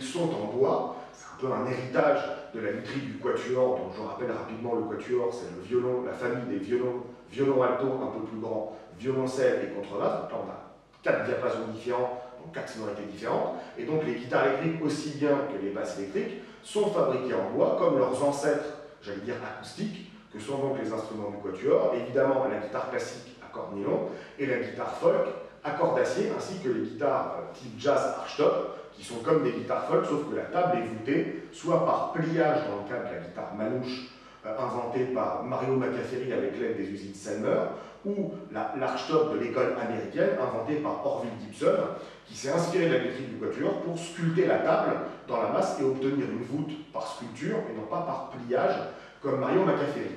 Les guitares électriques sont donc en bois, et le choix euh, de l'essence euh, pour la réalisation d'une guitare électrique est particulièrement importante, comme on l'a vu dans le fonctionnement de la guitare, avec le cercle virtueux qui se crée quand la corde vibre et la vibration du bois, et la façon dont le bois va absorber les vibrations de la corde va colorer le son. Donc il y a plusieurs éléments qui rentrent en ligne de compte. La chose importante évidemment à prendre en considération est la taille de la guitare, puisque toutes les essences de bois ne sont pas éligibles, simplement pour des questions de taille. Il faut se représenter un arbre, donc on a le tronc d'arbre, à l'extérieur on a l'écorce, sous l'écorce on a l'aubier, donc qui est une partie un peu tendre, qui a souvent été attaquée euh, par les insectes xylophages qui ne présentent aucun intérêt sur le plan mécanique et sur le plan esthétique. Et au centre de l'arbre, on a le cœur. Ce qui fait qu'en lutherie, comme en ébénisterie ou en menuiserie, on utilise quasiment que la partie centrale qu'on appelle le duramen, qui se trouve entre le cœur et l'aubier. Ce qui veut dire que sur un tronc d'arbre comme ça, bah, le duramen, on a le duramen qui est tout autour, donc pour avoir une planche, déjà on perd la moitié, on supprime le cœur, on supprime l'écorce et l'aubier, et donc il reste par exemple une planche comme ça, sur un tronc d'arbre comme ça. Donc évidemment, pour faire une guitare de cette taille-là, même si on fait le corps en deux parties, on a besoin d'une pièce qui fait généralement 20 cm. Donc pour avoir une pièce qui fait 20 cm de large pour une moitié de corps seulement, on a besoin euh, d'un arbre dont le tronc fera plus d'un mètre. Donc parfois on me demande pourquoi est-ce qu'on n'utilise pas le buis pour faire des guitares? Donc le buis c'est quand même la famille des buissons, et pour avoir un tronc d'arbre qui fait ce diamètre, on, est déjà, on a déjà affaire à un buis qui est centenaire, donc on pourrait à peine tailler dedans une moitié de touche ou une moitié de manche. Premier critère d'éligibilité pour une essence de bois en lutherie, la taille du tronc d'arbre, euh, et donc la taille de la pièce de bois que l'on pourra extraire, euh, une pièce de bois entièrement en duramen, pour fabriquer une guitare. Le deuxième critère, c'est la résistance mécanique. Évidemment, une guitare est soumise à beaucoup de contraintes. Sur une guitare électrique, on a quasiment 40 kg de tension, donc on a besoin d'essence qui reste à la fois relativement stable, qui ne soit pas trop euh, victime des variations de température et d'hygrométrie, même si euh, les guitares sont euh, recouvertes par un produit de finition, une huile ou un vernis. Et donc la rigidité, on a besoin d'une essence de bois qui résiste aux contraintes mécaniques pendant la fabrication et surtout pendant le jeu et pendant la vie de l'instrument. Le troisième critère est évidemment le poids. il ne faut pas utiliser des essences trop lourdes, ce serait trop inconfortable euh, au niveau du jeu, euh, notamment quand on joue debout plusieurs heures en répétition ou en concert. Si l'instrument, dans le cas d'une guitare électrique, quand on est au-delà des 4 kg, ça commence à être relativement pesant. Un autre critère, qui est, un critère un petit peu égoïste de la part des luthiers, c'est de sélectionner des essences qui sont relativement faciles à travailler. Euh, c'est une raison pour laquelle on trouve assez peu le chêne, par exemple, euh, dans la guitare, parce que c'est une licence assez difficile à sculpter et qui n'est pas toujours hyper stable.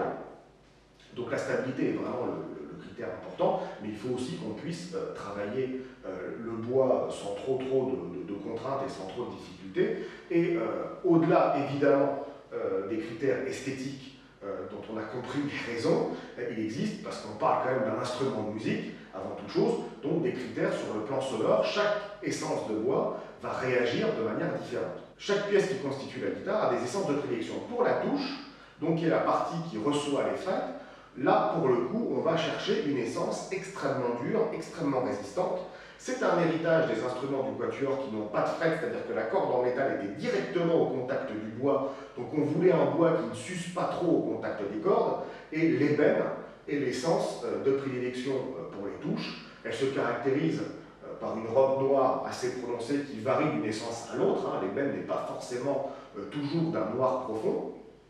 C'est une essence extrêmement lourde qui a la particularité de peser souvent plus de 1000 kg au mètre cube, et quand une essence pèse plus de 1000 kg au mètre cube, elle ne flotte pas. Donc l'ébène est une des rares essences euh, qui ne flotte pas. C'est une information qui est importante de communiquer, comme ça vous pourrez briller en société lors de, repas. Et l'autre essence qu'on utilise euh, assez volontiers en, lutherie euh, guitare est le palissandre, qu'on retrouve donc sur la place que je vous avais présentée au tout début, donc qui est une essence dans, des, dans, des, robes marron, donc qui varie beaucoup d'une variété à l'autre, et qui pèse un peu moins lourd. On est à 700-800 kg le, le mètre cube, donc pour vous donner un ordre d'idée, on est 20-30% plus léger, 40% parfois plus léger qu'un ébène. Donc pour des, là, on est vraiment sur un choix de bois pour des, pour des raisons purement mécaniques. Il faut que ça résiste à l'agression des cordes et aux frettes dont on l'a vu euh, dans la partie atelier qui était enfoncée en force. On peut utiliser aussi de l'érable. Alors là, c'était un choix euh, purement économique de la part de Leo Fender qui voulait utiliser des, essences locales, hein, donc des essences d'Amérique du Nord.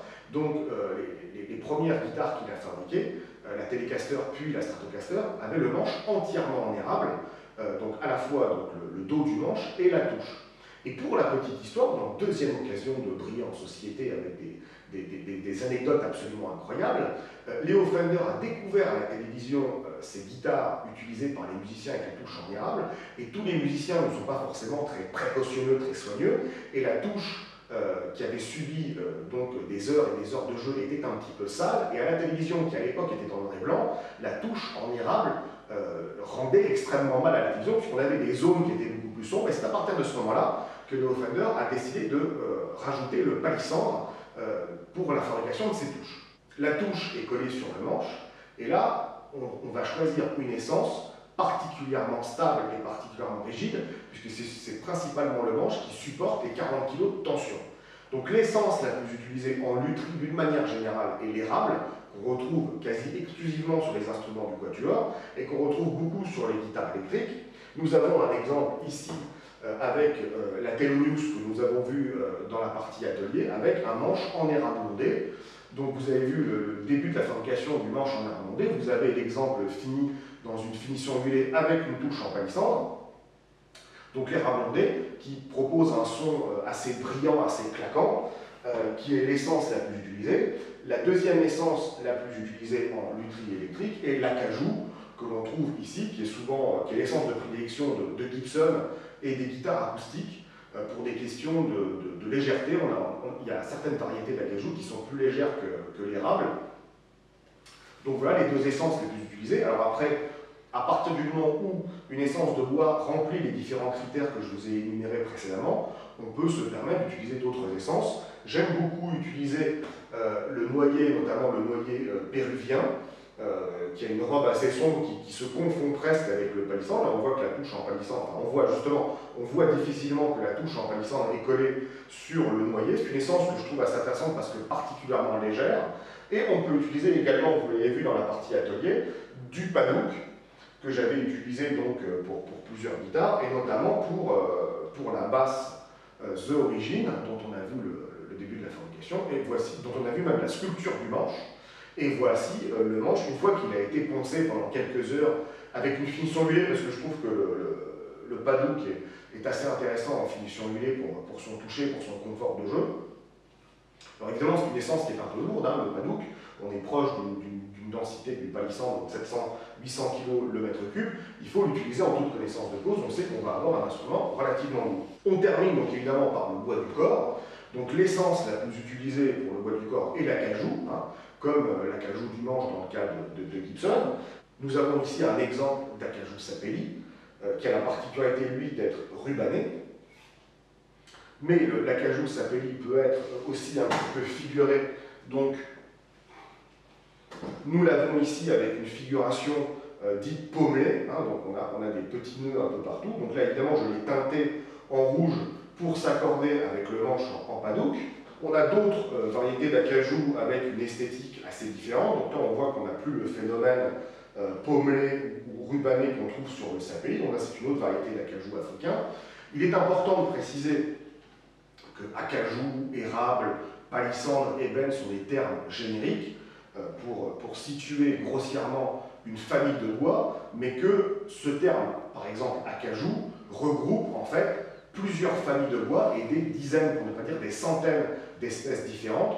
Dans le cas de l'acajou, il y a de l'acajou euh, dans les îles des Caraïbes qui a ensuite été transplanté en fait en Amérique du Sud et en Amérique centrale.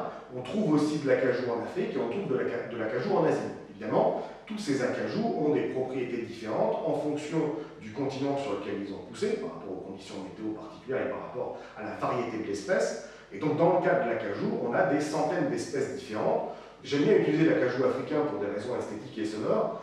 L'acajou sud-américain est également intéressant, mais c'est une essence qui est en voie de disparition. Et pour des raisons éthiques, je préfère utiliser des bois qui ne sont pas euh, protégés. Et l'acajou euh, asiatique euh, est assez peu distribué en Europe, je n'ai pas eu l'occasion de l'utiliser. Il a une assez mauvaise réputation puisqu'il est souvent utilisé sur des instruments bas de gamme. On trouve euh, d'autres essences plus claires comme l'aune ou le frêne. Donc ici, c'est une variété nord-américaine qui a poussé à proximité des marais, donc qui est relativement poreux, donc relativement léger. C'est l'essence traditionnelle utilisée par Leo Fender pour les télécasters et pour certaines Stratocasters. L'aule est moins intéressant euh, sur le plan euh, esthétique, euh, mais est dans des couleurs relativement claires. Donc là, on a un son qui est un peu plus brillant, un peu plus claquant que l'acajou. Donc les trois essences de référence pour les guitares électriques, l'aule et le frêne, j'allais dire l'école Fender, et l'acajou qui est l'école Gibson, qui sont les deux marques principales de guitare électrique. Après, évidemment, libre à chacun de faire des tests avec du noyer, avec d'autres variétés d'essence. Et évidemment, on a toujours la possibilité de coller une table.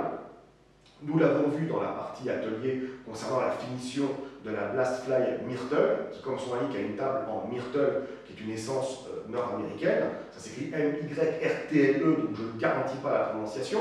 Là encore, une occasion de briller en société. L'essence qu'on retrouve le plus souvent en table et qui est majoritairement utilisée par Gibson, c'est l'érable, et en particulier l'érable landais, comme pour le manche, pour des raisons esthétiques.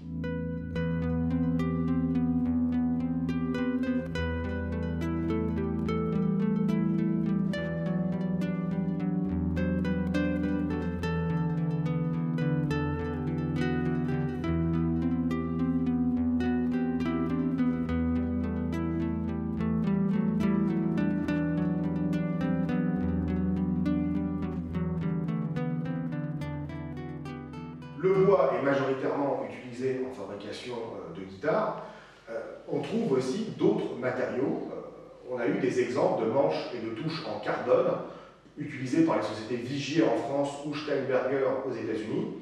Et plus généralement, l'utilisation de matériaux composites. Alors on a parfois des guitares qui sont en plexiglas pour des raisons purement esthétiques. Que ça pèse très très lourd. On a aussi des instruments fabriqués avec des caisses qui sont en matériaux composites il y a eu notamment une invention de, d'Ibanez, ils avaient appelé euh, cet, alliage la lutite, donc qui était un ensemble de bois reconstitués. Donc là, c'est pour des raisons purement euh, économiques. Le carbone est intéressant pour ses propriétés de stabilité, pour ses propriétés mécaniques. Par contre, il restitue véritablement le son de l'accord. Donc souvent, euh, les instruments qui sont en carbone, qui sont tout ou partie en carbone, donc généralement c'est consacré à l'utilisation du manche et ou de la touche, on a vraiment le son de l'accord, donc on a souvent un son qui est beaucoup plus métallique que les guitares qui sont fabriquées en bois. on trouve parfois euh, des guitares qui sont fabriquées en aggloméré ou en contreplaqué. Donc là, évidemment, sont pour des raisons purement économiques, puisqu'on fait rentrer beaucoup dans la composition du contreplaqué ou de l'aggloméré de la colle. Donc on a, on a le son qui est complètement amorti euh, par l'utilisation massive de la colle pour ces, pour ces pièces de bois, qui ne sont pas donc des pièces de bois massives. La norme étant d'utiliser du bois massif, mais il existe des alternatives euh, qu'on va trouver de plus en plus avec malheureusement le problème de déforestation et de certaines essences traditionnelles de la lutherie qui viennent à manquer, j'en parlais avec l'acajou sud-américain.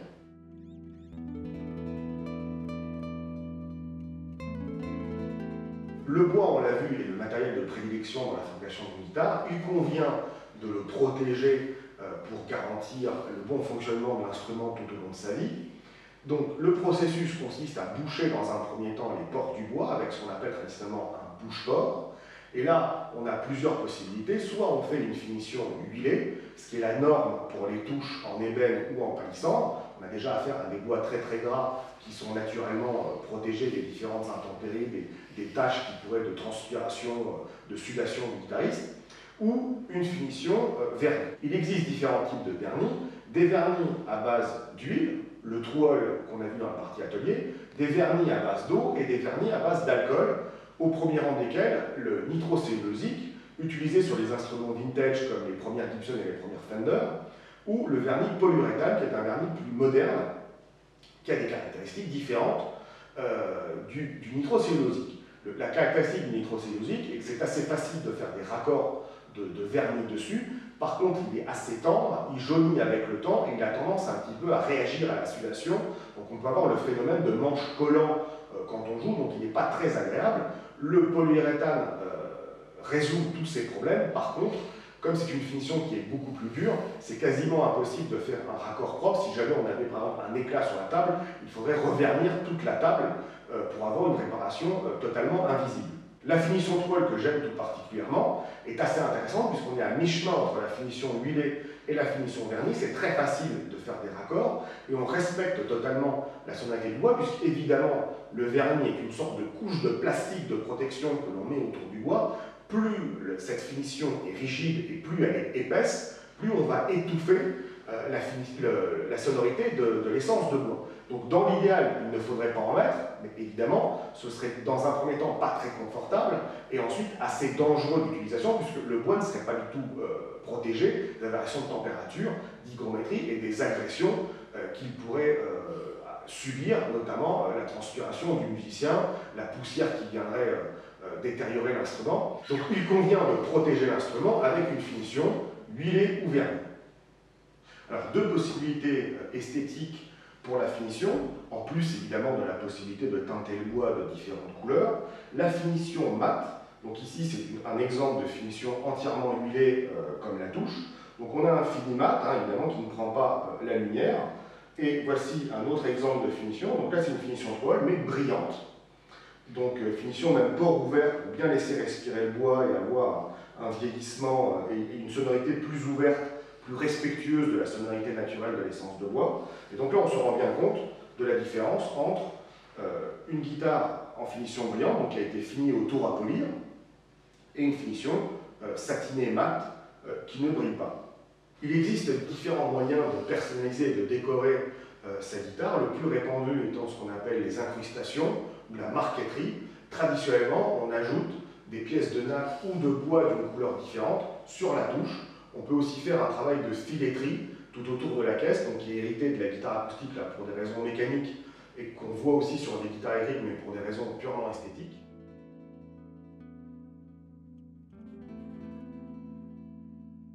Le luthier.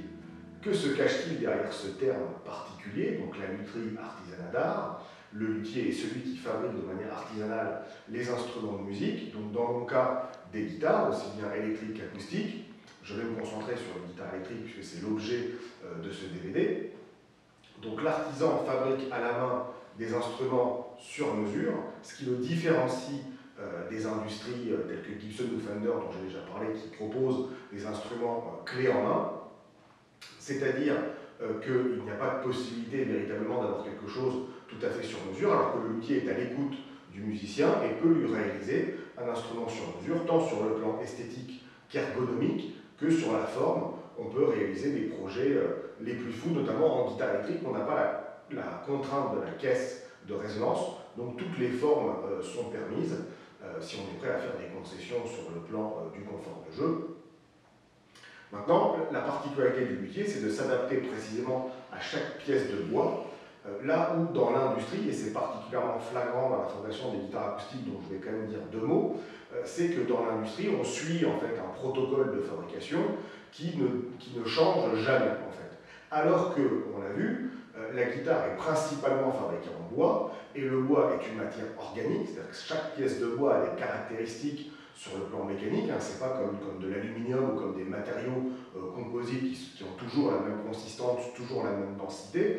La variation de densité euh, peut être extrêmement importante d'une pièce de bois à l'autre, et surtout les caractéristiques mécaniques, notamment d'élasticité, euh, dans le sens de la longueur ou dans le sens de la largeur. C'est particulièrement criant pour les tables d'épicéa qui sont majoritairement utilisées dans la lutherie acoustique, et donc le luthier va véritablement se travailler à partir de la pièce et va s'adapter en fonction des contraintes euh, et des caractéristiques particulières de la pièce dans le but d'obtenir le résultat souhaité, le résultat demandé euh, par le musicien, alors que dans l'industrie, quelle que soit euh, la pièce au départ, le protocole de fabrication sera exactement le même, et du coup, bah, comme la pièce de bois aura des variations en termes de densité, d'élasticité, on va avoir un résultat finalement beaucoup plus aléatoire dans un cas, ça va sonner très très bien, dans l'autre cas, ça va sonner très mal, et dans la majorité des cas, soyons, soyons clairs, ça va sonner euh, comme, comme ça doit sonner euh, normalement, mais on n'est pas à l'abri de rater. C'est pour ça qu'il est important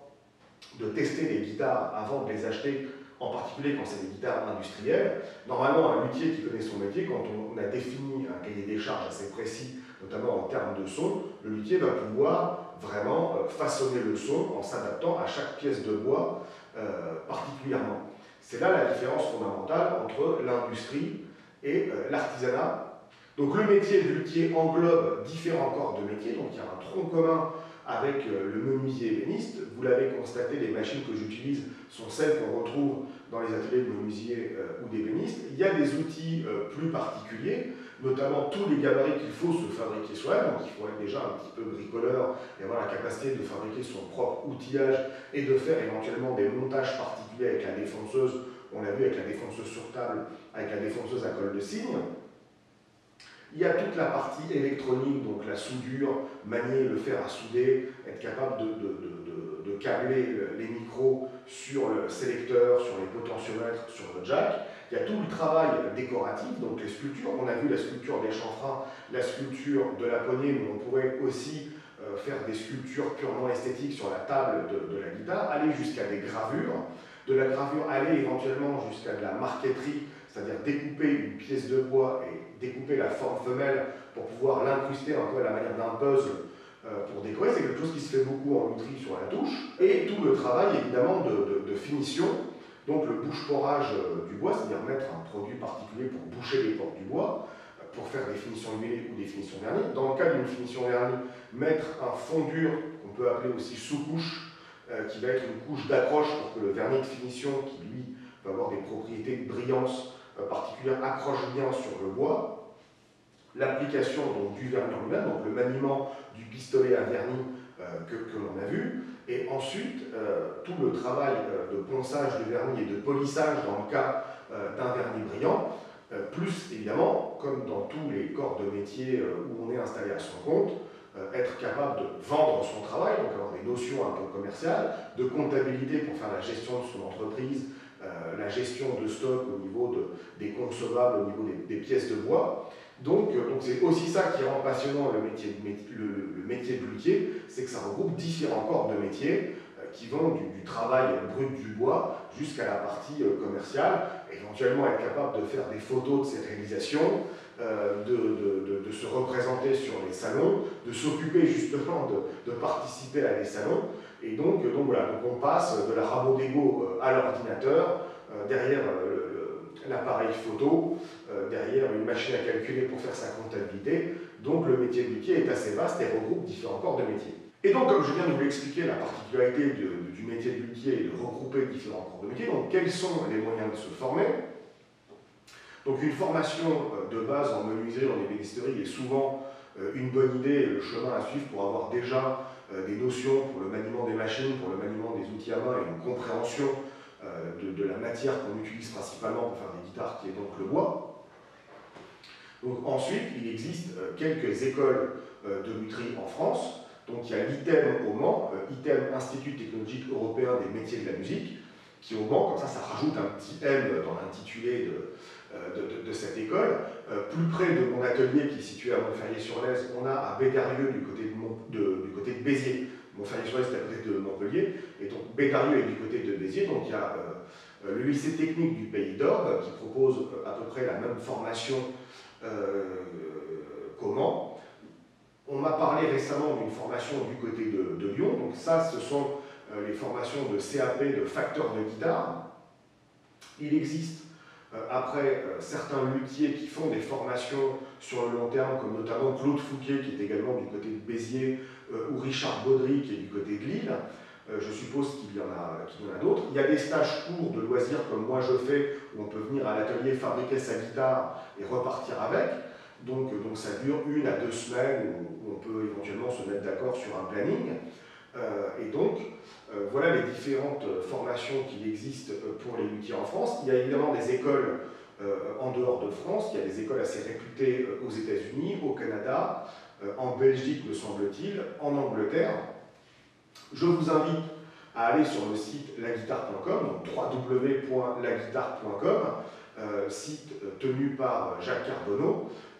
laguitare.com est véritablement le portail de la lutherie en France. Il y a un annuaire assez détaillé de, tous les luthiers. Donc on peut trouver le luthier euh, à côté de chez soi, puisque ça, ça, marche sous forme de carte, donc on peut chercher les luthiers région par région. Et il y a donc euh, une partie du site qui est consacrée aux différentes formations, donc aussi bien les stages loisirs que les formations pour devenir euh, luthier à son tour. Alors évidemment, c'est pas le tout de, de, fabriquer une guitare et de connaître le métier du bois, comme je l'ai dit, avoir des bases euh, en comptabilité est une bonne chose. Pour ma part, j'ai un DUT d'économie et gestion, euh, et donc ça regroupe différents, euh, différentes formations. C'est bien aussi de faire des stages chez des gens qui sont spécialisés.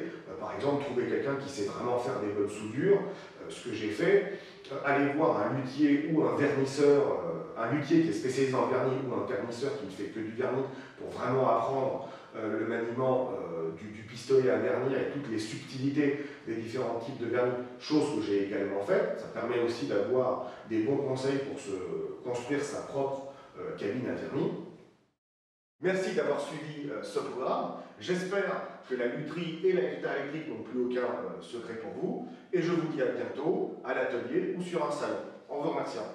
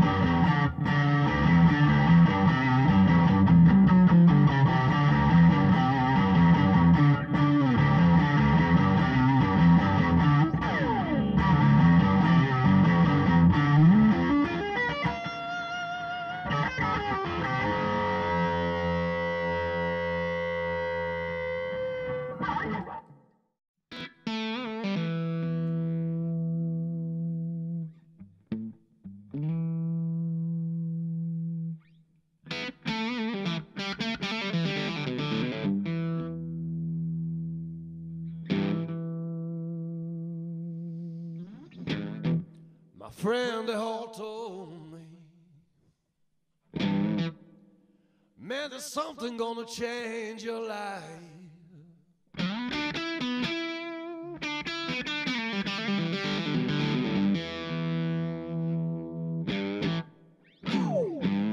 My friend they all told me. Man, there's something gonna change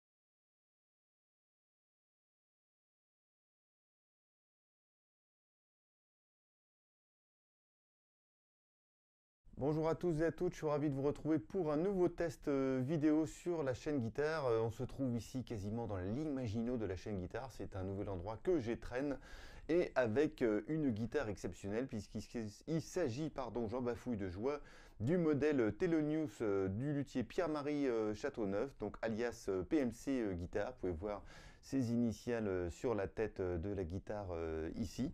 Donc euh, Telonius, euh, par c'est un jeu de mots évidemment entre le Jazzman, euh, Telonius et puis la, Telecaster, dont cette guitare est clairement inspirée. On a une forme un petit peu mi-Jazzmaster, mi-Telecaster, donc Telecaster pour la configuration de micro et plutôt Jazzmaster là pour cette forme un petit peu offset qui est superbe. Donc un corps en soit en pache, voilà, magnifique, en frein de démarrer, en bon français avec une attache euh, corps, euh, donc euh, manche en érable ondé et corps à 5 vis, comme vous pouvez voir ici. La petite trappe, voilà, aimantée pour accéder à l'électronique très facilement. Il n'y a pas de vis, c'est comme ça, c'est tout beau, c'est magnifique. Et au niveau électronique, donc ça fonctionne avec un set de chez Rio Grande, set Tallboy, donc un micro de type Telecaster et le micro aigu qui va bien ici. Au niveau électronique, sélecteur 3 positions, volume, tonalité, tout ça très classique. Petite particularité de cette guitare, quand on tire sur le bouton de tonalité, on bypass complètement le volume et la tonalité. À ce moment-là, les micros passent uniquement par le sélecteur et direct dans le jack, ce qui fait qu'on gagne un petit peu en brillance et aussi un tout petit chouille en volume. Je vais vous faire euh, écouter ça euh, tout de suite. Donc, euh, écoutons d'abord le micro, pardon, le micro aigu. Ça nous donne quelque chose comme ça.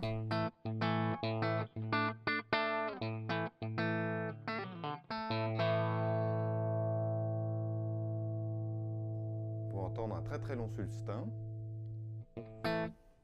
Les deux micros ensemble.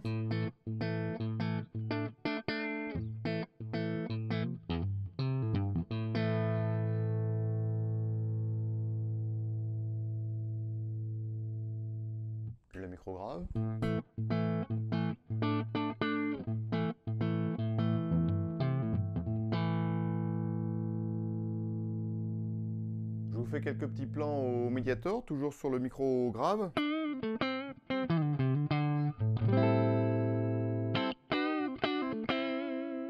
Position intermédiaire.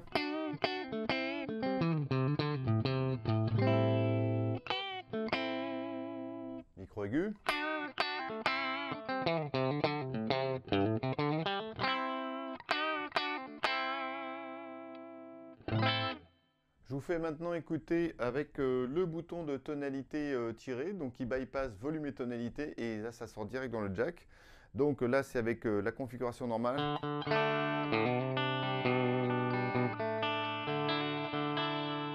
Je tire le bouton de volume.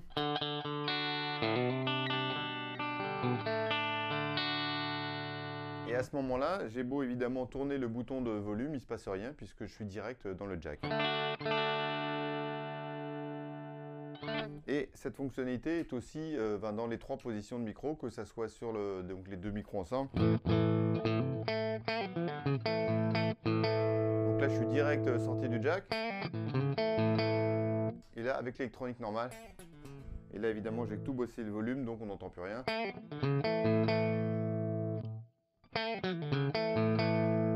C'est quand même assez net. Une légère, un petit, une petite augmentation de volume, mais surtout euh, un peu de présence, un peu plus de, de, brillance. Donc le micro aigu, là je suis direct sorti du jack.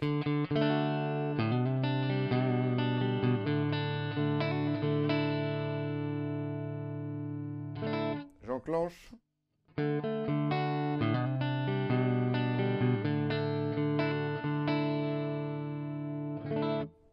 Vous permettre euh, des astuces du style, euh, voilà, régler un petit bouton pour la rythmique, un volume pour la rythmique, pardon, comme ça.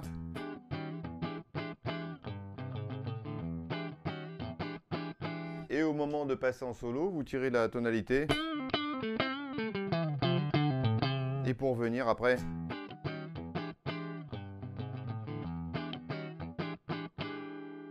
Donc une petite astuce euh, bien pratique je trouve. Je vous fais écouter ça maintenant en son euh, un petit peu saturé avec un petit peu de, de pimento, ça nous donne ça.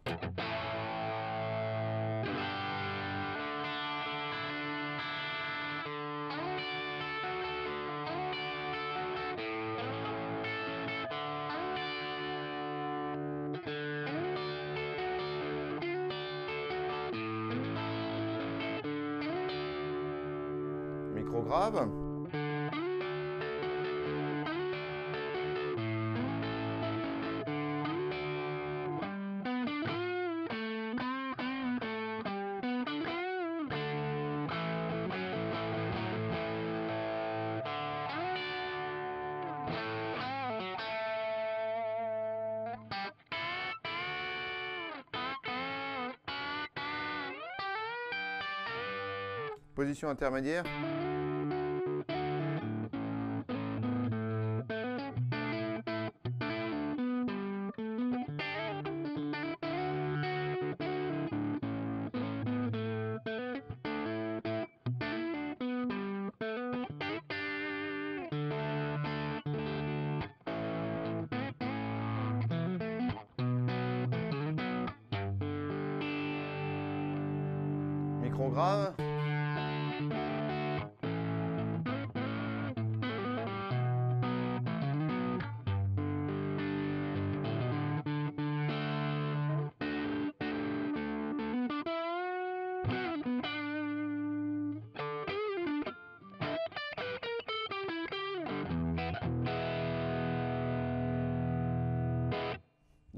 Très belle palette de sons. On va maintenant passer à des grains euh, saturation un petit peu plus élevée avec la Plex, euh, la Plex Torsion. Voilà ce que ça donne sur le micro euh, aigu.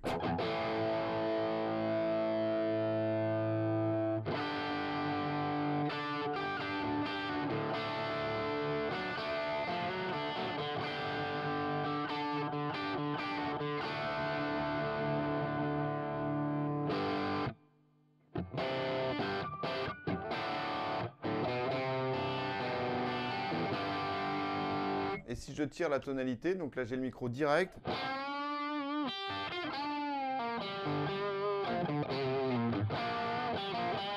Avec le micro enclenché, avec l'électronique enclenchée, pardon.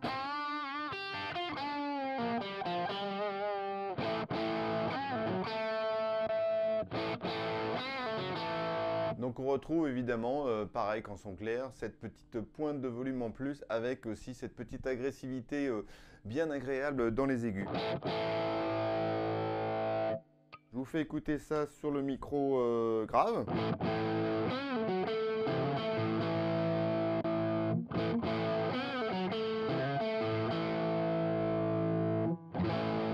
Voilà, maintenant si euh, on baisse un petit peu la tonalité pour nous velouter un petit peu tout ça.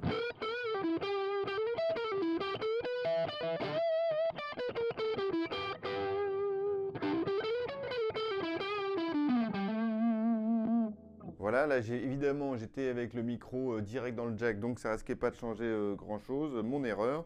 Là je suis avec la tonalité à zéro.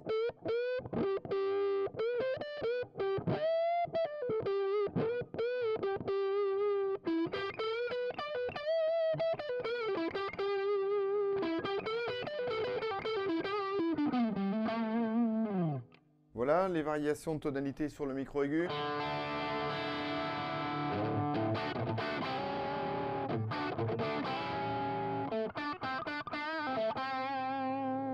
Tonalité presque à zéro.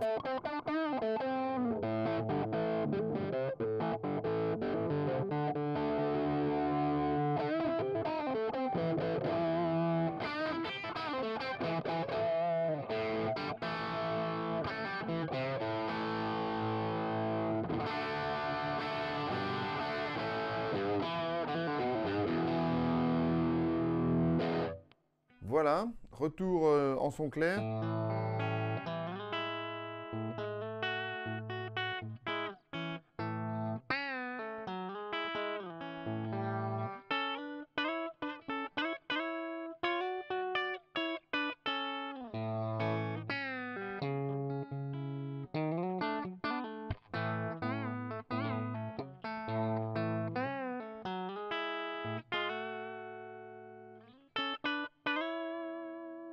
J'étais sur le micro aigu, position intermédiaire.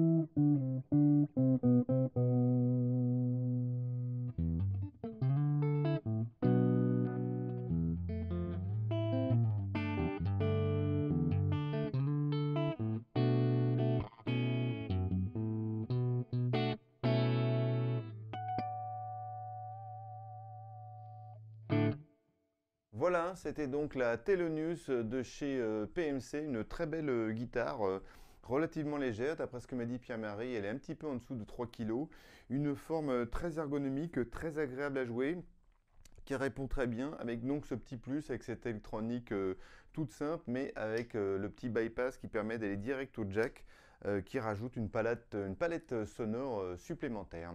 Voilà, à vous le studio.